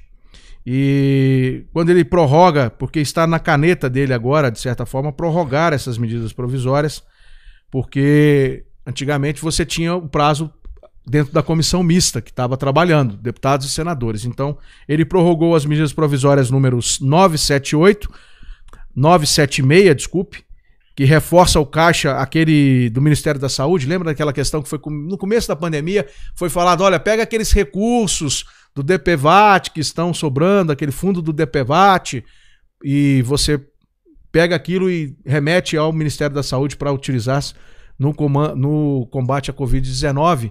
Então, saiu, depois foi feito um projeto, né? Um projeto de lei do Congresso Nacional fazendo essa alteração internamente e depois o presidente da República fez uma medida provisória, que é a 976, que reforça o caixa do Ministério da Saúde com 4,48 bilhões. A outra medida provisória é a 977, que liberou 20 bilhões para crédito a pequenas e médias empresas prejudicadas pelo isolamento social necessário para reduzir a proliferação do novo coronavírus. Segundo a MP, o recurso será destinado ao Programa Emergencial de Acesso a Crédito, que concede empréstimos a empresas com receita bruta entre 360 mil reais e 300 milhões. E a medida provisória 978, que libera 60,1 bilhões para estados, Distrito Federal e municípios aplicarem em ações de combate à Covid. É aquele recurso que também foi assim, ajustado dentro do orçamento geral da União desse ano para poder socorrer os estados e municípios. Lembra que nós comentamos, eu vou sempre falar isso porque já foi falado aqui, que a gente comentou daquele, daquela parcela de 60 e mais 65 que viriam da, do perdão de dívidas dos estados. Lembra disso? Uhum. Daquele projeto de lei que começou como lei Mansueto, depois mudou, né, e foi alterado e então foi feito um acordo com o Ministério da Economia. Existe 65 bilhões que vão deixar de ser arrecadados pela União e esses 60 que seriam destinados. Após esse ajuste também, através de PLN, tudo que foi feito, projeto de lei, tudo acertadinho para não incorrer em crime de responsabilidade fiscal, a medida provisória 978 então foi é, é, foi lançada no Diário Oficial, já com efeito de lei, então pode ter aí. Agora você quer acompanhar, Max e Ítalo e telespectadores do Terça Livre, você quer acompanhar quanto de recurso você o seu município recebeu, o seu estado está recebendo, e o que é que tem que ser utilizado com saúde e o que é que pode ser utilizado para outra para outra para outra situação, você pode acessar lá no Senado Federal tem uma parte muito interessante quando você abre aí o Senado Federal, você vai ver, acompanhe tudo bem de azul no site do Senado. Acompanhe tudo o que o Senado está fazendo para ajudar o Brasil a vencer a pandemia. E lá dentro, quando você clica, tem um, uma das abas que diz recursos destinados ao combate da Covid-19. Quando você clica lá e abre, você vai ver quanto de fato já foi destinado, o valor do total, o que foi empenhado, o que foi já colocado na tabela para liberação e o que de fato já foi revertido. E lá no finalzinho desse site você encontra uma lista de todos os municípios brasileiros, o valor que vai receber e o valor que já foi recebido. Mais um motivo para a população ficar também ajudando. Isso deveria ser uma obrigação dos vereadores e dos deputados estaduais, nesse caso, para e também dos federais, para fiscalizar esses recursos, se estão chegando e se os prefeitos e os governadores, de fato, vão aplicar dentro das rubricas destacadas, tá certo? Então era isso que eu tinha para falar e contamos aí com as orações sempre no trabalho e todas as vezes, às segundas-feiras, nós estamos aqui para comentar sobre as pautas e dar essas dicas do processo legislativo e contar algumas coisas que estão acontecendo por aí. É isso aí. Muito obrigado, Daniel. É, então vamos para notícia do dia, né? Assunto aí que está sendo muito comentado nas redes sociais. A questão do Felipe Neto, né? Depois do apresentador Luciano Huck e do socialista Marcelo Freixo, Rodrigo Maia se juntou à lista de apoiadores de Felipe Neto. Diretamente de seu iPhone, o presidente da Câmara dos Deputados usou o Twitter na tarde deste sábado, dia 1 para divulgar mensagem em solidariedade ao youtuber. Sem citar um caso específico, o parlamentar sinalizou que, de acordo com a sua avaliação, o influenciador digital tem sido atacado. A covardia é a virtude dos fracos. Esses ataques só reforçam o caráter daqueles que são incapazes de vencer um debate com argumentos e com respeito. Olha aí, tudo. Olha aí, né? Vamos convidar para debater? é, há mais ou menos dois mil anos atrás, o imperador Calígula nomeou o cavalo dele Incitatus como senador romano. Né? Antigamente, Calígula tinha o cavalo, hoje Rodrigo Maia tem Felipe Neto. Né? É assim que a gente tem que se sentir tendo Felipe Neto, uma pessoa como Felipe Neto, sendo levado para discutir fake news. Um cara que já foi condenado por fake news. Foi condenado em junho por é. compartilhar uma notícia falsa contra o recém-indicado presidente da Fundação Nacional do Índio, Marcelo Augusto Xavier da Silva. Pois é. é. Esse sujeito. Condenou Neto Felipe Neto a indenizar o chefe da FUNAI em 8 mil reais, né? O terceiro juizado especial civil de Brasília. É. Só para não haver. É, é, é, não haver. Mal entendido, né? Não existe crime de fake news. Ele não foi condenado por fake news. Ele foi condenado, provavelmente, por é, injúria ou difamação. Fa falsa, é. É, exatamente. É, entendeu? E, e, Ele disse que ele tinha. Ele compartilhou, né? É, que a, ele teria agredido o pai idoso com um murro na cara. Aí, ó. Olha só. Denunciação caluniosa, né? É, não, não denunciação não. porque não houve, não houve a denúncia em si, né? Sim. Houve só, só o compartilhamento. Foi calúnia. calúnia. difamação. Calúnia de difamação, exato, exato. E, e então, a, a, fake news foi o mecanismo, né? O meio uhum. pelo qual ele fez, o qual ele, ele, ele fez a, a cometer o crime, né? Não foi o crime em si. Para deixar bem claro, né? Não há crime de fake news. Não existe esse tipo penal, né? Isso aí. Mas enfim, é, é, o cara, o, o Felipe Neto que tomou uma invertida do Gabeira na Globo News, né? Tomou uma invertida do é, Gabeira. O, o Gabeira me perguntou o seguinte, assim, mas e se um juiz da, das Filipinas determinar... É. A, o ministro, né? É, é, o ministro das Filipinas, né? Foi o juiz mesmo. Um juiz das Filipinas determinar a exclusão do seu canal. Como é que fica? Aí eu falei assim: não, não, não, de fato, é complicado. Eu, eu, eu não tenho resposta, eu não sou especialista nisso, né? E, e, e inclusive eu sou, sou muito seu fã, Gabeira. isso aí. Foi isso. Foi isso. Aí eu pergunto, o cara admite que não é especialista. É óbvio que não é especialista em merda nenhuma, né? A gente tá cansado de saber, né?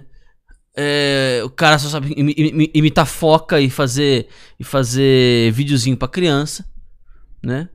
Falando sobre sexo com crianças, né? Ah, pena, porque ele até tem um dom, um dom assim de, de comunicação, né? Ele é, ele é bom na comunicação, mas comunica bosta, fazer o quê, né?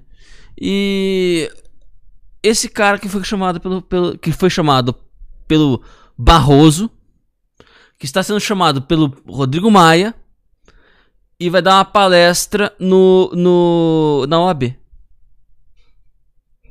Ora, a nossa sorte é que a esquerda tem muito mais Felipe Neto do que Gabeira. Verdade. Tá? É, essa é a nossa sorte.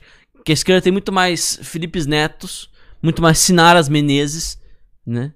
Que já, já bateu aqui no Gabeira já. Falou que o Gabeira é a esquerda, é o esquerdista que a direita adora.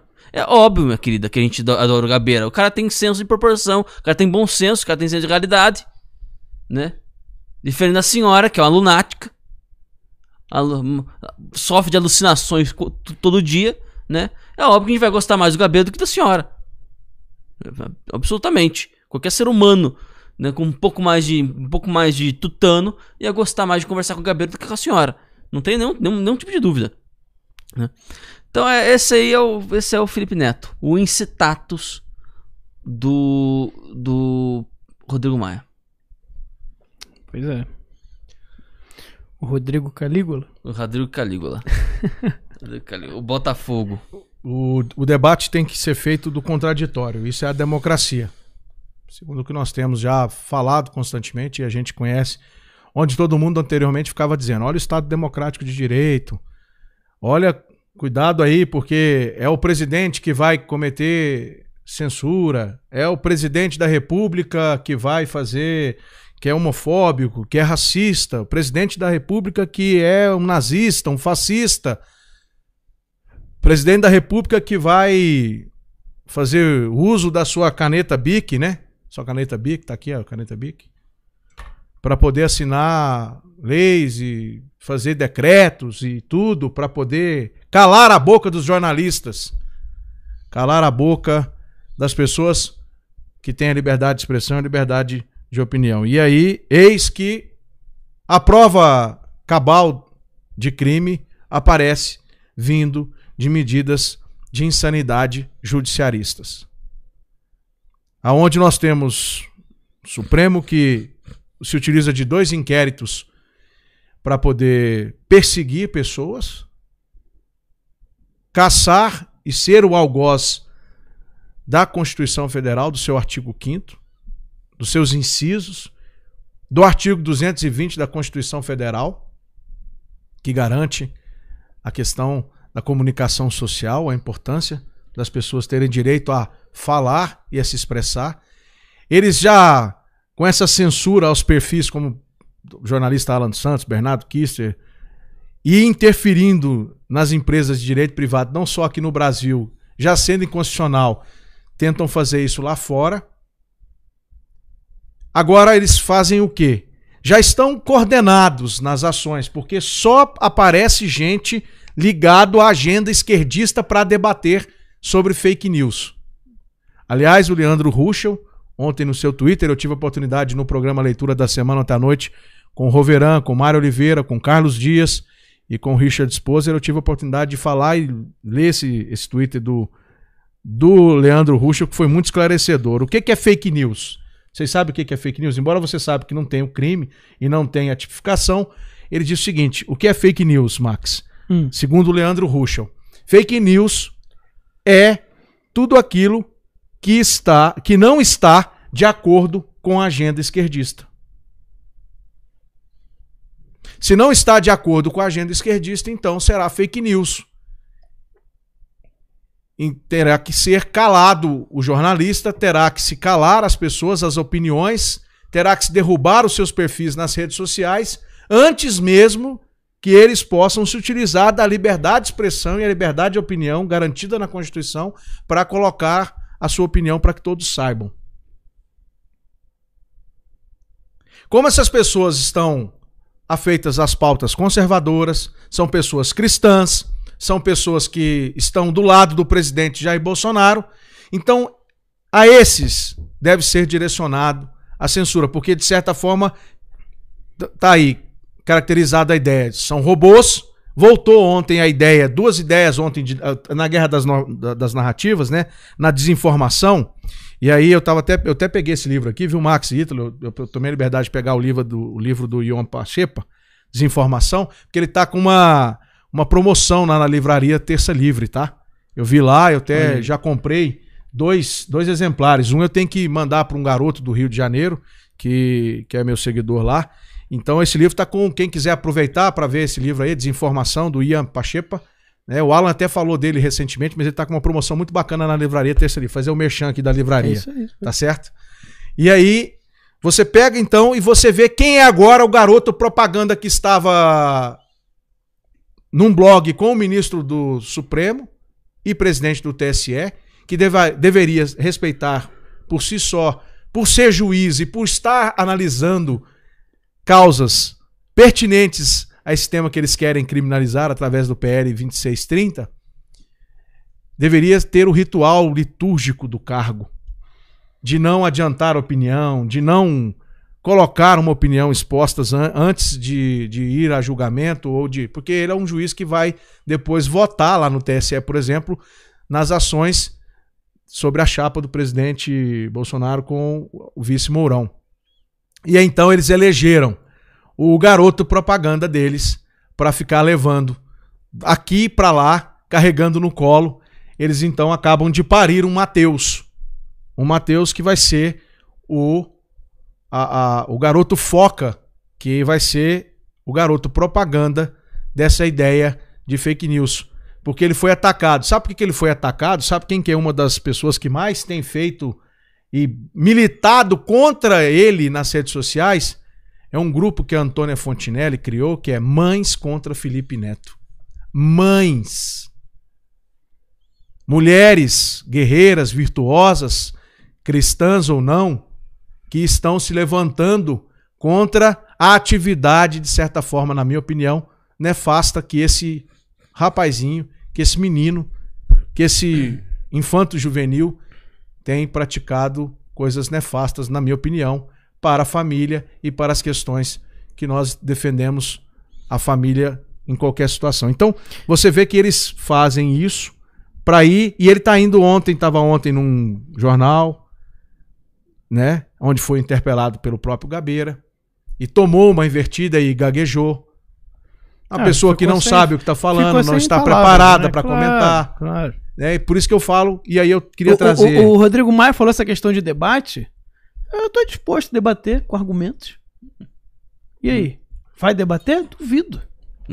Por exemplo, a sugestão. Chama eu para debater com o Felipe é. Chama o Ítalo. É, chama é. eu, Rodrigo Maia. Outra sugestão né? Chama, é, até eu vi o pessoal falando, alguns a, deputados da direita, o Caio né? Coppola. Né? É, chama é. o Caio Coppola para debater também. Não, mas o Felipe Neto já disse que não, não vai não, não debater, vai debater com Não vai debater ah. com bolsonarista, com ninguém que seja né, apoiadores, não sei o ah, quê. Ah, entendi. Ele então ele não quer o contraditório. Ele não é, ele não é, democ... é né? Ele não é uma pessoa democrática. Ele não é a favor é. da democracia, porque a democracia, em tese, quando se leva para um canal pago pelo pagador de impostos e pago pelo dinheiro público, no mínimo se esperaria o contraditório.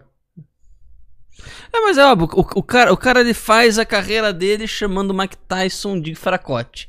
Aí você, ah, então bota você no ringue como é que tá? Você, não, não vou não, não. Deixa quieto. Deixa pra lá. Não vou entrar no ringue com, como é que tá isso. É uma questão de, de ideologia, entendeu? É, questão de ideologia, né? Até, até ganharia se eu fosse.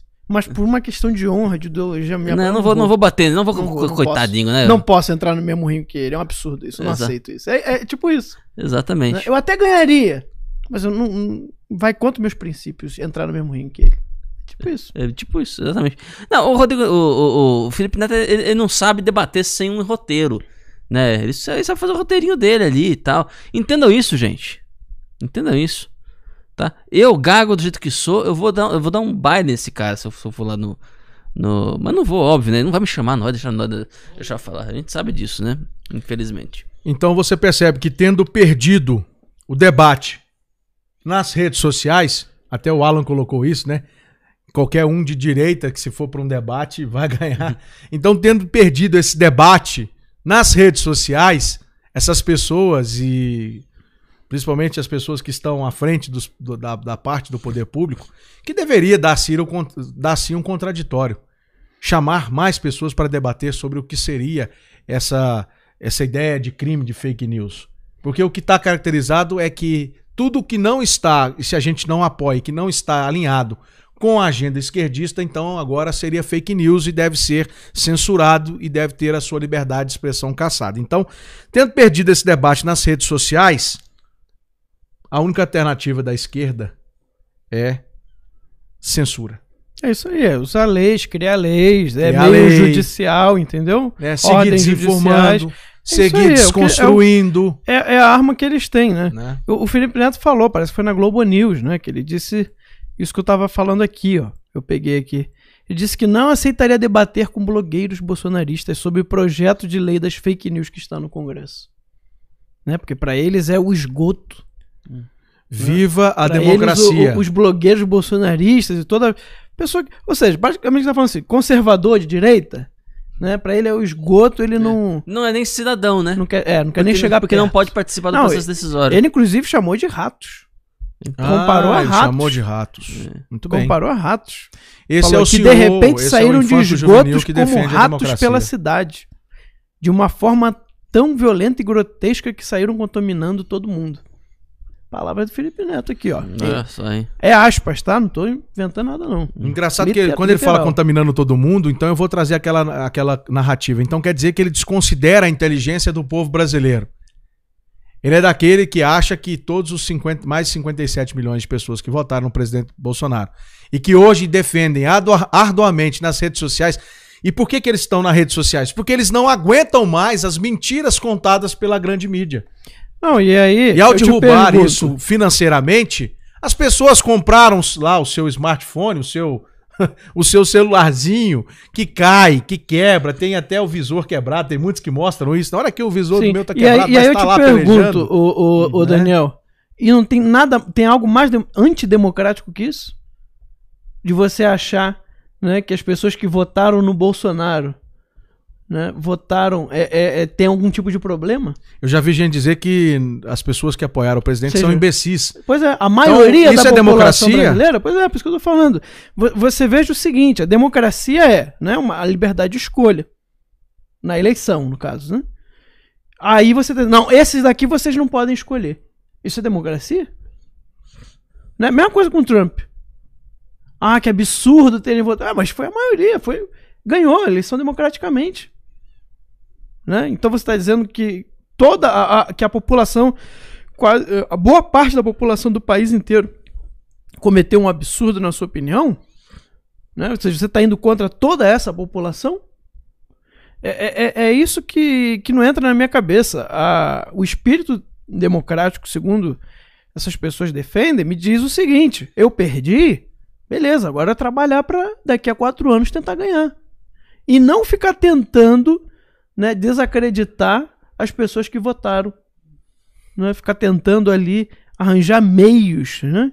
Gol, um, um- golpe mesmo, não tem outra palavra, né? Para tentar derrubar aquele governo, porque você tem medo de não ganhar a próxima eleição. Olha, olha só a loucura. Tem algo mais antidemocrático que isso? Né? Você ficar tentando arranjar meios, desculpas, né? Seja para deixar a pessoa envergonhada, né? Porque eles fazem isso. A grande, a, a- muitos na grande mídia, né? Artistas e políticos ficam tentando. Tem direito. Eu posso não concordar. Mas ganhou. O que eu vou fazer? Agora eu trabalhar para que na próxima, conscientizar as pessoas para que na próxima apresente uma melhor proposta. Agora não pode é ficar se, se usando desses subterfúgios aí para ficar envergonhando, intimidando pessoas porque apoiam o Bolsonaro. Isso é a coisa mais antidemocrática que, que eu já ouvi falar. E tem uma notícia aqui que é bem absurda, mas que dá bastante o tom, né, para vocês entenderem que quando a gente fala contra a ideologia de gênero, não é exagero, tá? Não é exagero. Isso aqui é só uma amostra do que vai vir para o futuro, porque se essa agenda de ideologia de gênero global continuar, vocês vão ver coisas desse tipo e piores. A CNN nos Estados Unidos tá, escreveu uma matéria sobre a recomendação da American Cancer Society, na Sociedade do Câncer Americano, Sociedade Americana do Câncer, né? de que as mulheres precisam passar por exames de câncer do colo de útero aos 25 anos em vez do 21. Contudo, tratou de apagar em todo o texto qualquer palavra que remeta ao sexo feminino. Ou seja, não se podia usar a palavra mulheres. Em vez de mulheres, sabe o que a CNN usou no lugar? Ela usou uma expressão genérica. Aspas. Indivíduos com colo de útero. Fecha aspas. Em vez de chamar de mulher, não. Ah, esse, esse indivíduo com colo de útero. Imagina, né? Você chega pra mulher, você é um indivíduo com colo de útero. Não, você não é mulher. Né? Você é mulher por outros motivos, né? Por, por questão de decisão, né? É, é tão mulher quanto, quanto, o homem que, quanto um homem que se diz mulher, né? A questão é que você é um indivíduo com colo de útero. Você é um indivíduo com colo de útero. Indivíduos com vagina, já vi isso também. Olha aí. Indivíduos com vagina. Logo, mulheres, né? Lógico. Né? Grita, né? Mas. Estão é, querendo reformar nossa língua, né? Que bosta, né, velho? E a realidade, né? E a mente das pessoas, então, né? Isso aí, gente, vejam vocês. Isso é o, o, o problema disso é, é eles estão que é, isso é demolição da sua percepção, da sua inteligência. Você não pode mais olhar e falar assim, não, isso aqui é uma mulher, isso aqui é um homem. Exato. Né? Não, agora, agora o, o, o que tá rolando aqui é uma construção social, é uma, uma, uma coisa etérea, uma coisa, né? E que não tem absolutamente nada a ver com aquilo que os seus olhos estão vendo. Né? O sexo já não diz mais o gênero da pessoa e nem vice-versa, não existe. Né? Então, cara, é, é, engraçado, né? O, o, o... Muita, muita gente pergunta, né? Eu já, eu já vi gente fazendo esse, esse, questionamento, né? Ah, você acha que mulher é só uma vagina? Eu já vi isso no, no, no, no na universidade, né? A resposta é simples. Assim, olha, eu prefiro, é, é, é mais pre, é preferível você dizer que mulher é definido por um aspecto é, é, anatômico do que ter esse pessoal do movimento LGBT que acha que mulher é salto alto, roupa de puta e peruca. Né? Porque você vai ver, o, cara, o homem se sente uma mulher, o que, que ele faz? Primeira coisa que ele faz, bota uma peruca, um salto alto, né? Uma sainha curtinha, né? Fala assim, pronto, agora é uma mulher. Né? Ou seja, então, então pra ele, a mulher é um, é um, é um aspecto de. É, é, é essa roupa aí, né? Essa roupa. Bom, enfim, né? É absurdo, absurdo. É feito para você, para você, para travar a mente. Você cria um, um estado de, de, de, de é, é, estimulação contraditória, né? No nosso livro que a gente está lendo, deixa eu ver cadê ele. Cadê ele? O Pascal Bernardin, o Maquiavel Pedagogo. Tá, tá atrás de você, Marcos, tudo bem. É, é, o livro que a gente está lendo, a gente está fazendo as leituras durante o, as tardes no Instagram né? Ele trata bastante disso. Vai, vai, chegar um momento que a gente vai falar. Aqui, ó. A gente tá fazendo essa leitura, a leitura desse livro aqui, ó. Todos os dias à tarde no meu Instagram, tá? Arroba Lorenzon. A gente faz a leitura desse livro aqui, de, de, de alguns trechos desse livro. Eu tô acompanhando na ordem, tá? Então, ao final, se tudo der certo, ao final, esse aqui vai, esse livro aqui vai ser lido complet, completamente lá, tá bom? Então, você que tem o livro, quiser acompanhar a leitura com a gente, eu vou. É uma leitura comentada, né? Então eu vou lendo comentando, lendo e comentando, né? E aqui você vai ter vários aspectos, vários mecanismos, né? De controle social. Eu já estudei dois já, o, a submissão à autoridade e a, a, a conformação, né? São dois, dois aspectos. Estão no segundo vídeo que eu fiz, tá lá no meu, no meu Tá lá no meu, no meu perfil no Instagram. E lá você vai ver por que, que eles fazem isso. Não é à toa. É pra você. É pra travar, pra tornar o indivíduo mais dócil mesmo. Né? Você faz esse, essa estimulação contraditória, ele não consegue, né? Articular, né? Não consegue perceber o que está acontecendo. Ele vai, ele vai erodindo a sua inteligência. Se nem a, porque a base da inteligência é a percepção. Você só intelege por aquilo que você, em cima daquilo que você percebe, né? Se você não tem a, se você não tem a percepção, meu cara, você não pode usar a sua percepção para fazer é, é, é, é para fazer o, o, o, a sua intelecção, aí você perdeu já, meu filho. Você já não, já não consegue mais falar sobre nada. Você já tá. Você já é presa fácil para Felipe Netos. Exatamente. Daqui a pouco vão proibir de uh, as crianças de nascer homem e mulher também, né? chegar ao ponto de proibir que, a, que se nasça homem e mulher. Aí vão querer fazer alguma intervenção aí, é porque só pode, essas ações globalistas. E é por isso que você tem pessoas assim como o Ítalo e Max, tantos outros, né? Nosso amigo Mauro Fagundes, que está ali sentadinho ali olhando para nós agora. Ei, boy. E aí, Bom giorno. então, você percebe que as pessoas estão cada vez mais sofrendo esse tipo de ataque para desconstruir aquilo que sempre so receberam de informações e sendo as informações corretas. E aí eles atacam os cristãos. Se os cristãos se levantam contra as, agências, as agendas globalistas, por exemplo, você percebe o quanto eles são atacados nas redes sociais. O conservadorismo, também principalmente. Então, essa narrativa de tentar desconstruir o gênero homem e mulher, de criar é, palavras que sejam mais palatáveis, colocar isso em livros didáticos, por exemplo, ideologia de gênero, colocar isso sutilmente, às vezes, numa redação de um projeto de lei. É dessa forma que essa agenda globalista tenta desconstruir o que você há anos conhece como sendo algo que funciona e que dá certo. A família deu certo e continua dando certo. Ela é formada se por mães solteiras ou por homens solteiros, aí teria as pessoas viúvas ou não.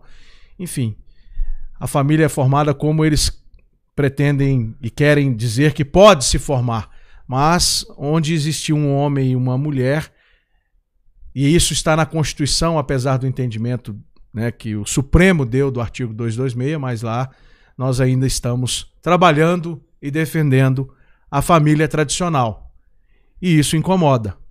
Levantar a voz contra esses que querem atribuir a mulher sendo um ser humano de vagina, com todo o respeito, vá às favas, senhoras e senhores que defendem isso. Vocês não têm nenhuma moral para tentar criticar e atacar pessoas que vão defender o contraditório que vocês estão tentando impor. Podem falar, mas não se utilizem da grande mídia, nem dos livros didáticos das nossas crianças e nem tampouco de leis, de projetos ou de ações do governo, porque nesse governo, principalmente de pauta conservadora, às vezes pode até alguém tentar lá no, no submundo fazer como foi feito uma, uma portaria deixada na gaveta lá no Ministério da Saúde, falando de aborto, alguma coisa assim, depois se descobre, vem e, né, e já toma o, o já toma de cima para baixo. Então, fiquem firmes vocês e continuem servindo ao Brasil e ao mundo nesse, nessa temática nossa. Conservadores na veia, cristãos, defendam as vossas fés, né, as vossas fé e tenham esse carinho enorme aí por todas essas pautas nossas, porque isso é o que vai ajudar a construir o Brasil. Pois é. É e a gente tem falado aqui muito das narrativas né, que sempre vão tentando construir em, contra o Bolsonaro. Né? São várias frentes de batalha que a oposição vai criando para tentar aí criar narrativa e emplacar o impeachment no futuro. E a gente sabe que uma dessas atuais agora é essa questão aí da produção de cloroquina. Né? Então a gente tem uma atualização aqui. Ó. Medicamento defendido né, pelo presidente Bolsonaro para tratamento da Covid-19 entrou na mira da Justiça. Uma investigação foi solicitada pelo Ministério Público para apurar se houve superfaturamento na compra de insumos para fabricação dos comprimidos de cloroquina pelo Exército. Solicitado pelo subprocurador-geral do Ministério Público, junto ao Tribunal de Contas da União, Lucas Furtado, o pedido aguarda o parecer da Secretaria do órgão para então ser analisado pelo plenário do tribunal. O processo apura ainda a responsabilidade direta do presidente na decisão de aumentar expressivamente a produção de cloroquina.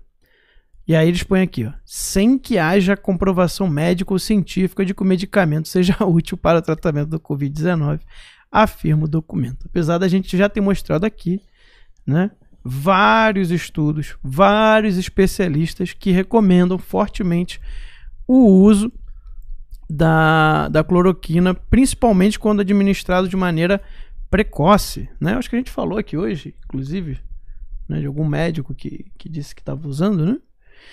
É, e que tinha bons resultados. no, no tratamento, né? Em que diminui o número de pessoas que vai pro vai para a UTI e, consequentemente, diminui também o número de óbitos. Né? Então aqui está esse documento. Você já, você já vê que já tem uma, uma, um viés político logo no documento que pede essa investigação. Né?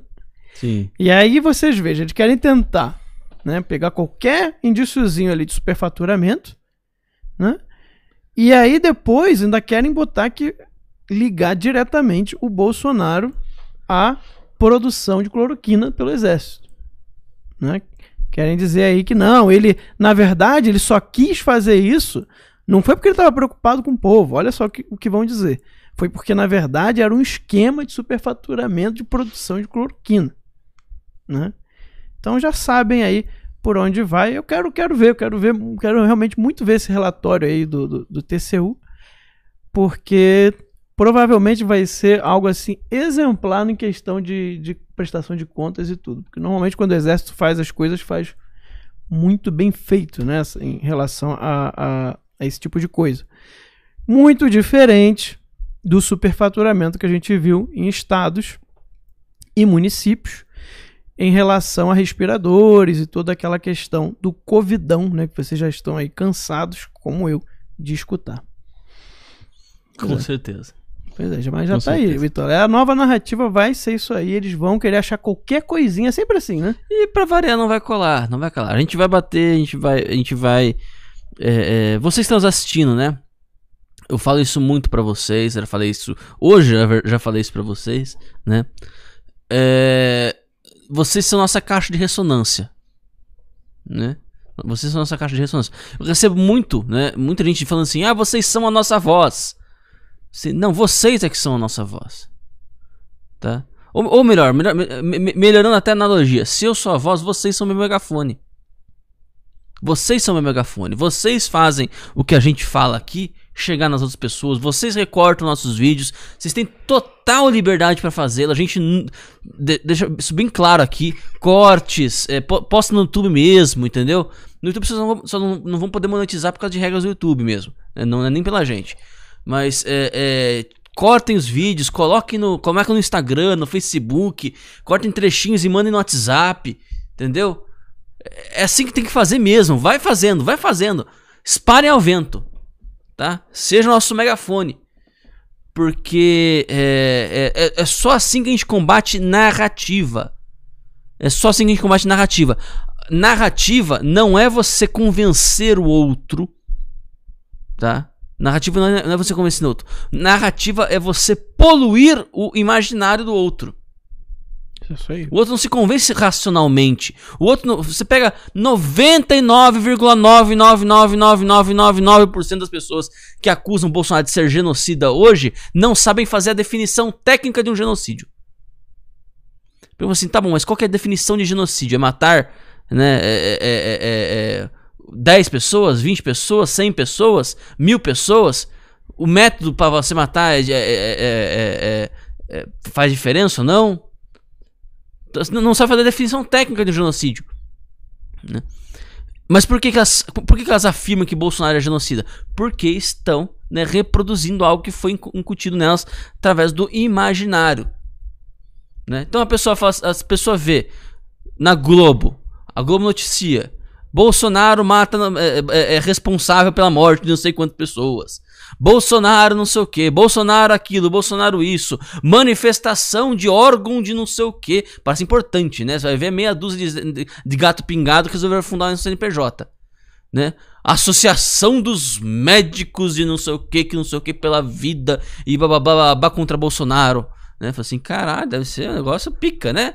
Porra, né? Vai ver meia dúzia de médico, né? Lá de Vila em Ocunhé, resolveram falar assim: ah, vamos, vamos entra, entra no cartório, registra firma e vira o CNPJ, pronto, tá feito. Entendeu? E pronto, ganhou uma grande importância, uma grande relevância. Isso aí é para poluir o imaginário das pessoas. A pessoa vai sendo consumida aos poucos, ela, ela vai entrando nessa, nessa, nesse transe, né? Chega uma hora, meu filho, o, ga, o, peixe não vê o, o, a água em que nada. O peixe já não vê mais a água em que nada. né? Você vai cozinhando a rã, né? A rã na, na, em panela aos poucos, né? Vai esquentando a água aos pouquinhos, a pessoa, a rã não percebe que a água esquentou, né? É isso aí. Então, assim, é, é, para combater isso, só o efeito contrário. Só o, o, o, serviço contrário. Nós estamos aqui fazendo isso, tá? E nós dependemos de vocês. Eu não acho que vai que vai é, é, pegar essa, mais essa narrativa. Por quê? Porque nós temos uma vantagem imensa. Nós somos a verdade. A gente fala a verdade. Isso não é retórica, tá? Isso não é retórica. O dia que a gente perder o contato com a realidade, a gente começa a perder. Literalmente, porque outro vai vir falar a verdade na, na, na nossa cara. Essa é a grande mágica da internet, da liberdade de expressão. Sempre tem alguém falando a verdade, essa pessoa ganha no, no, no, no ganha com o tempo. Mentira tem perna curta. Né? E na época da internet, meu filho, tá com a bunda de fora também. pois é. A narrativa é sempre assim: o, geno, o, genocida é o Bolsonaro, não são os outros, não são os prefeitos, não são os governadores que deixaram de utilizar, por exemplo, esse tratamento precoce. Eu mostrei esse, esse, esse vídeo, eu, foi eu que falei, Max, mais cedo, de um médico falando, se dirigindo num grupo a uma colega em especial. Eu não, não vou mostrar, mas depois, se for o caso, eu posso retweetar lá para vocês verem. Ele grava um, um, um, vídeo e começa dizendo assim: é, Fulana, eu acabei de passar pelas, pelos leitos que eu tinha que cumprir aqui, os 20 leitos que eu tinha que fazer a vistoria. Acabei de passar aqui, de fazer o meu trabalho e estou vindo aqui gravar esse vídeo após o término do meu expediente para falar para você do porquê que esse tratamento precoce realmente tem resultado. E aí ele cita hidroxicloroquina, azitromicina, tratamento com zinco, tratamento com, com corticoide, em, já em casos avançados, aquele outro remédio que foi colocado.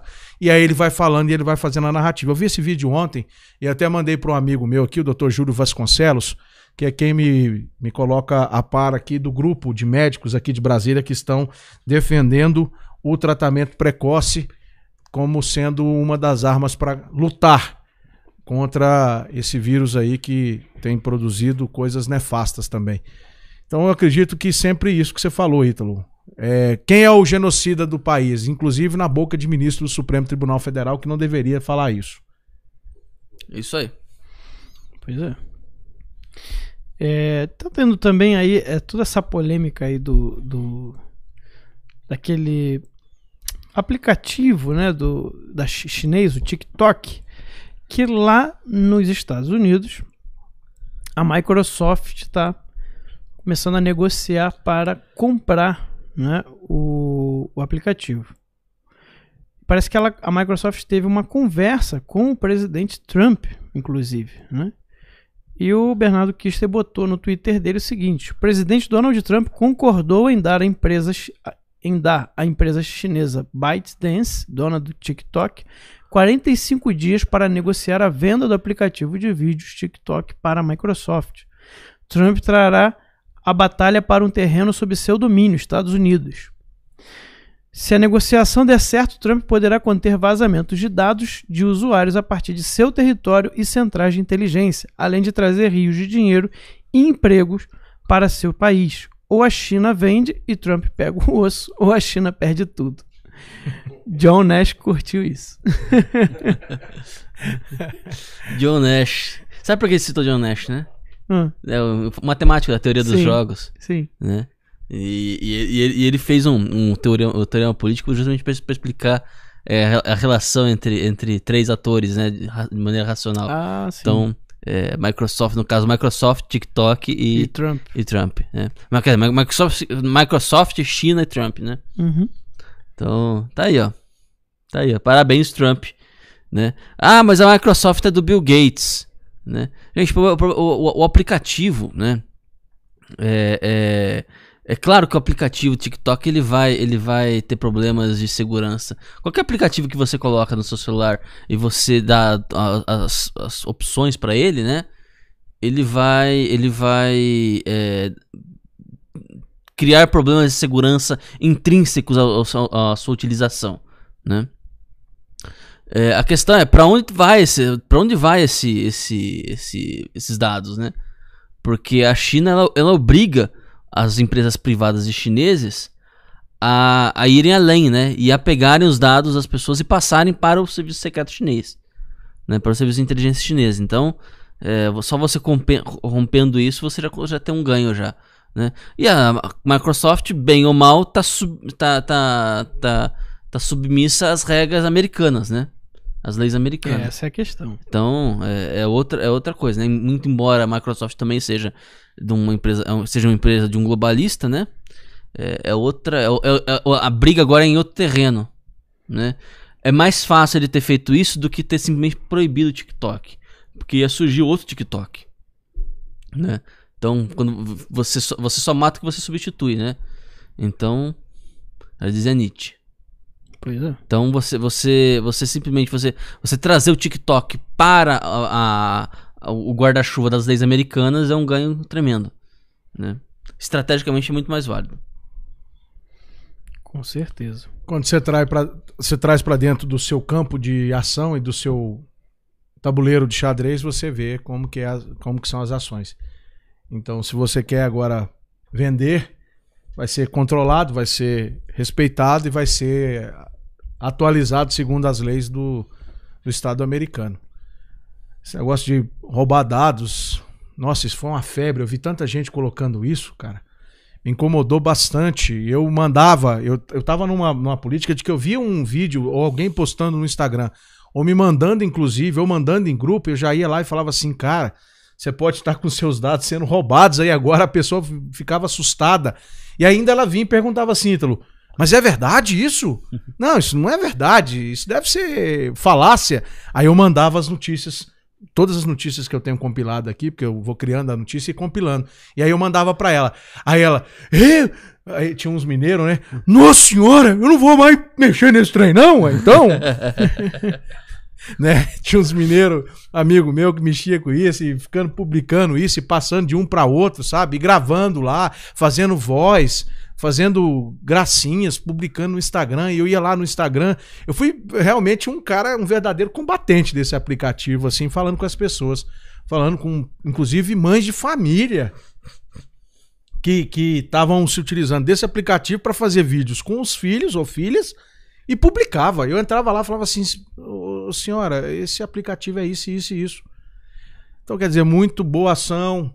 A gente tem que fazer esse tipo de ação mesmo, tem que ir controlando. Se é algo para entretenimento, que se traga então dentro do que é possível. E parabéns aí ao presidente Donald Trump. Parabéns também pelo rating acima de 50% né? Que saiu acho que ontem, o sábado, eu vi ele tweetando também. Isso é um, uma boa análise quando você vê o, o ranking de aprovação bem alto em relação a um país que vive lá as suas contradições e os seus movimentos esquerdopatas para tentar destabilizar o país mesmo assim, né? Mas enfim, parabéns aí que seja aí um novo, se vier um novo aplicativo ou nova plataforma para se utilizar, seja de forma correta que não atrapalhe, não invada a privacidade das pessoas. Respeito à privacidade das pessoas e também à legislação, né? E tudo que vem da China a gente já está um pouco meio gato escaldado também, né? Então tem disso. Com certeza. Tem motivo para você ficar sempre um pouco suspeito, né? Depois de tudo que a gente tem ouvido. E agora, agora você tem a movimentação de vários países do mundo inteiro, né? É, que não querem é, equipamentos com tecnologia da Huawei para criar suas redes de 5G. Saiu agora não é um ou notícia, dois, né? são vários, não, a semana inteira passada. Não, né? saiu, Portugal. saiu um compilado agora de manhã, eu tava vendo no Olha Twitter, aí. eu não vi aonde, mas saiu um compilado de países da América e países da Europa que estão se unindo é, eu não sei, Reino eu não li a notícia, tá? Portugal, eu vou ver aqui se é, é. que, que Só fala na direito. semana passada se unindo para formar um, um, grupo que vá combater a tecnologia 5G da, do, do Huawei. É, é, é, aquela questão, eles não vão participar de licitação, eles, ou seja, quais vão ser as empresas? Não sei, mas a Huawei não vai ser. É basicamente isso. É. Né? Basicamente é isso que está acontecendo. Por quê? Porque existem né, evidências sérias de que há backdoors em toda a tecnologia que a Huawei faz.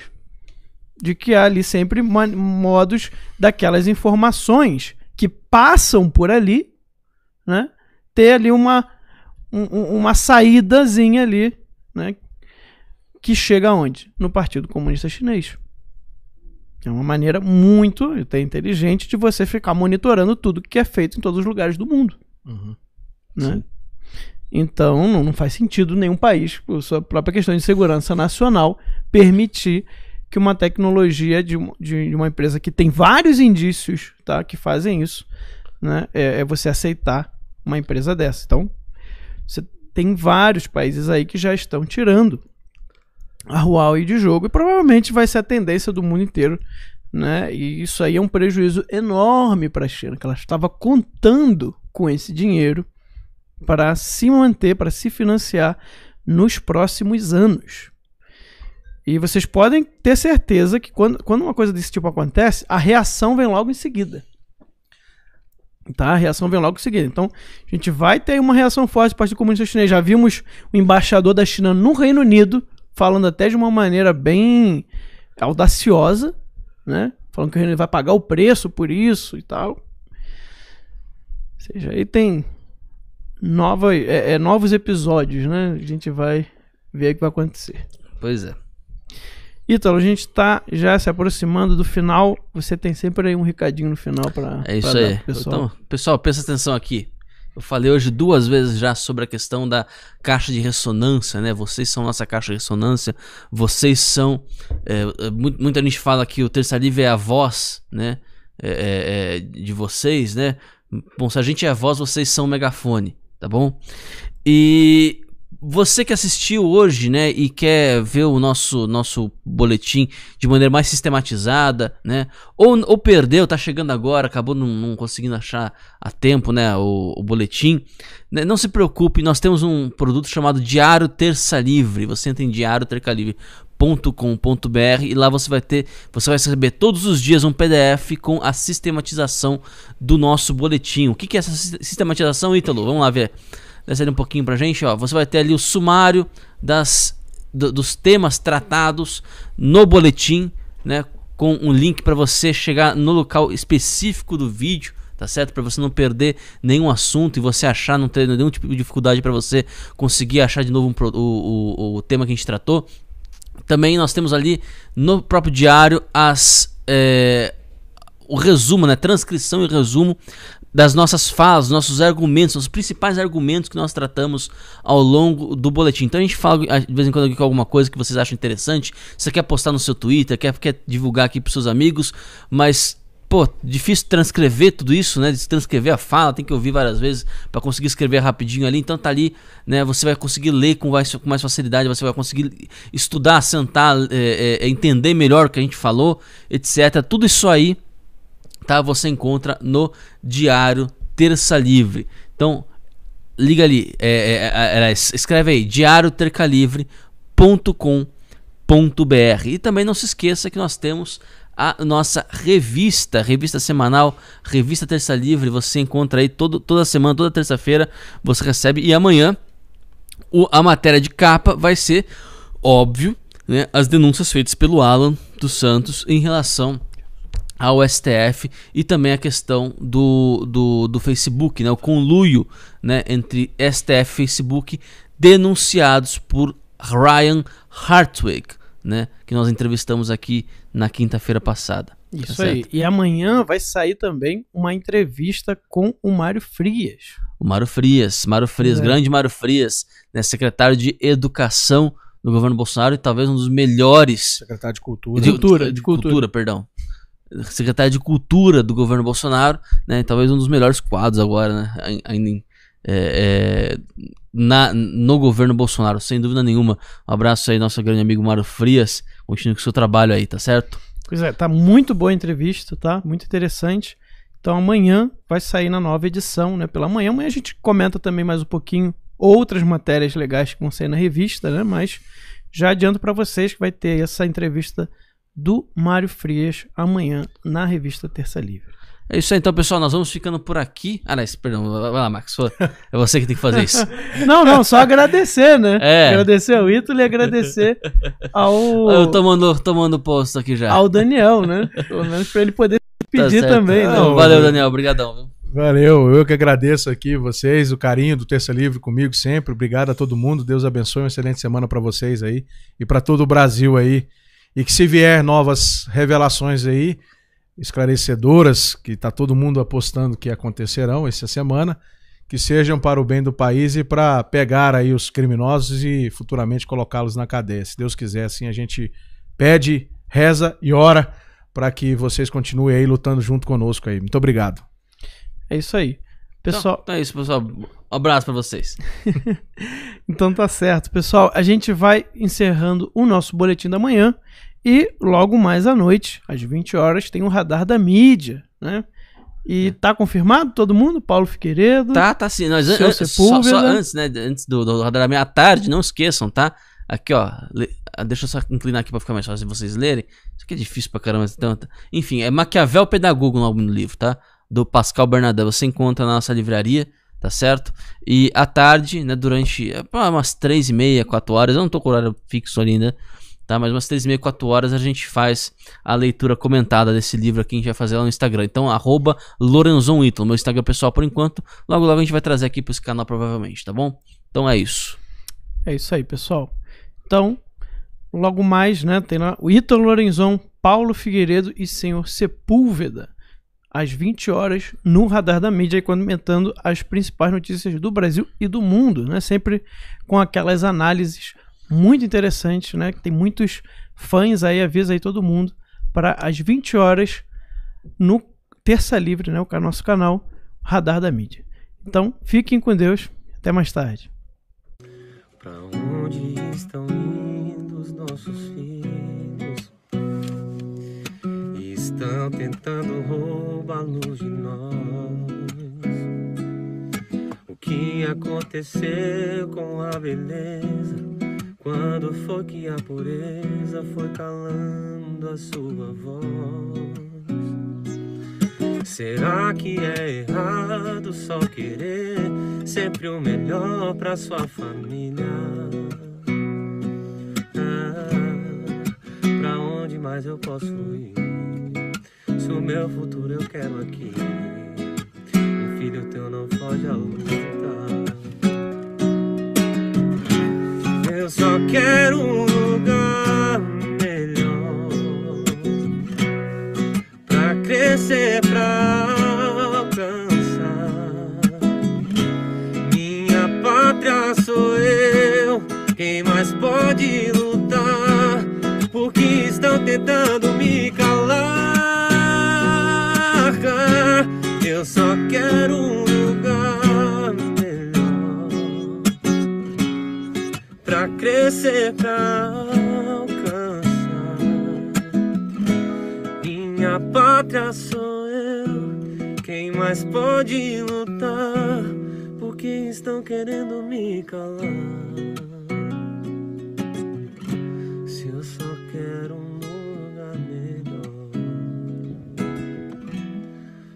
quero um lugar melhor.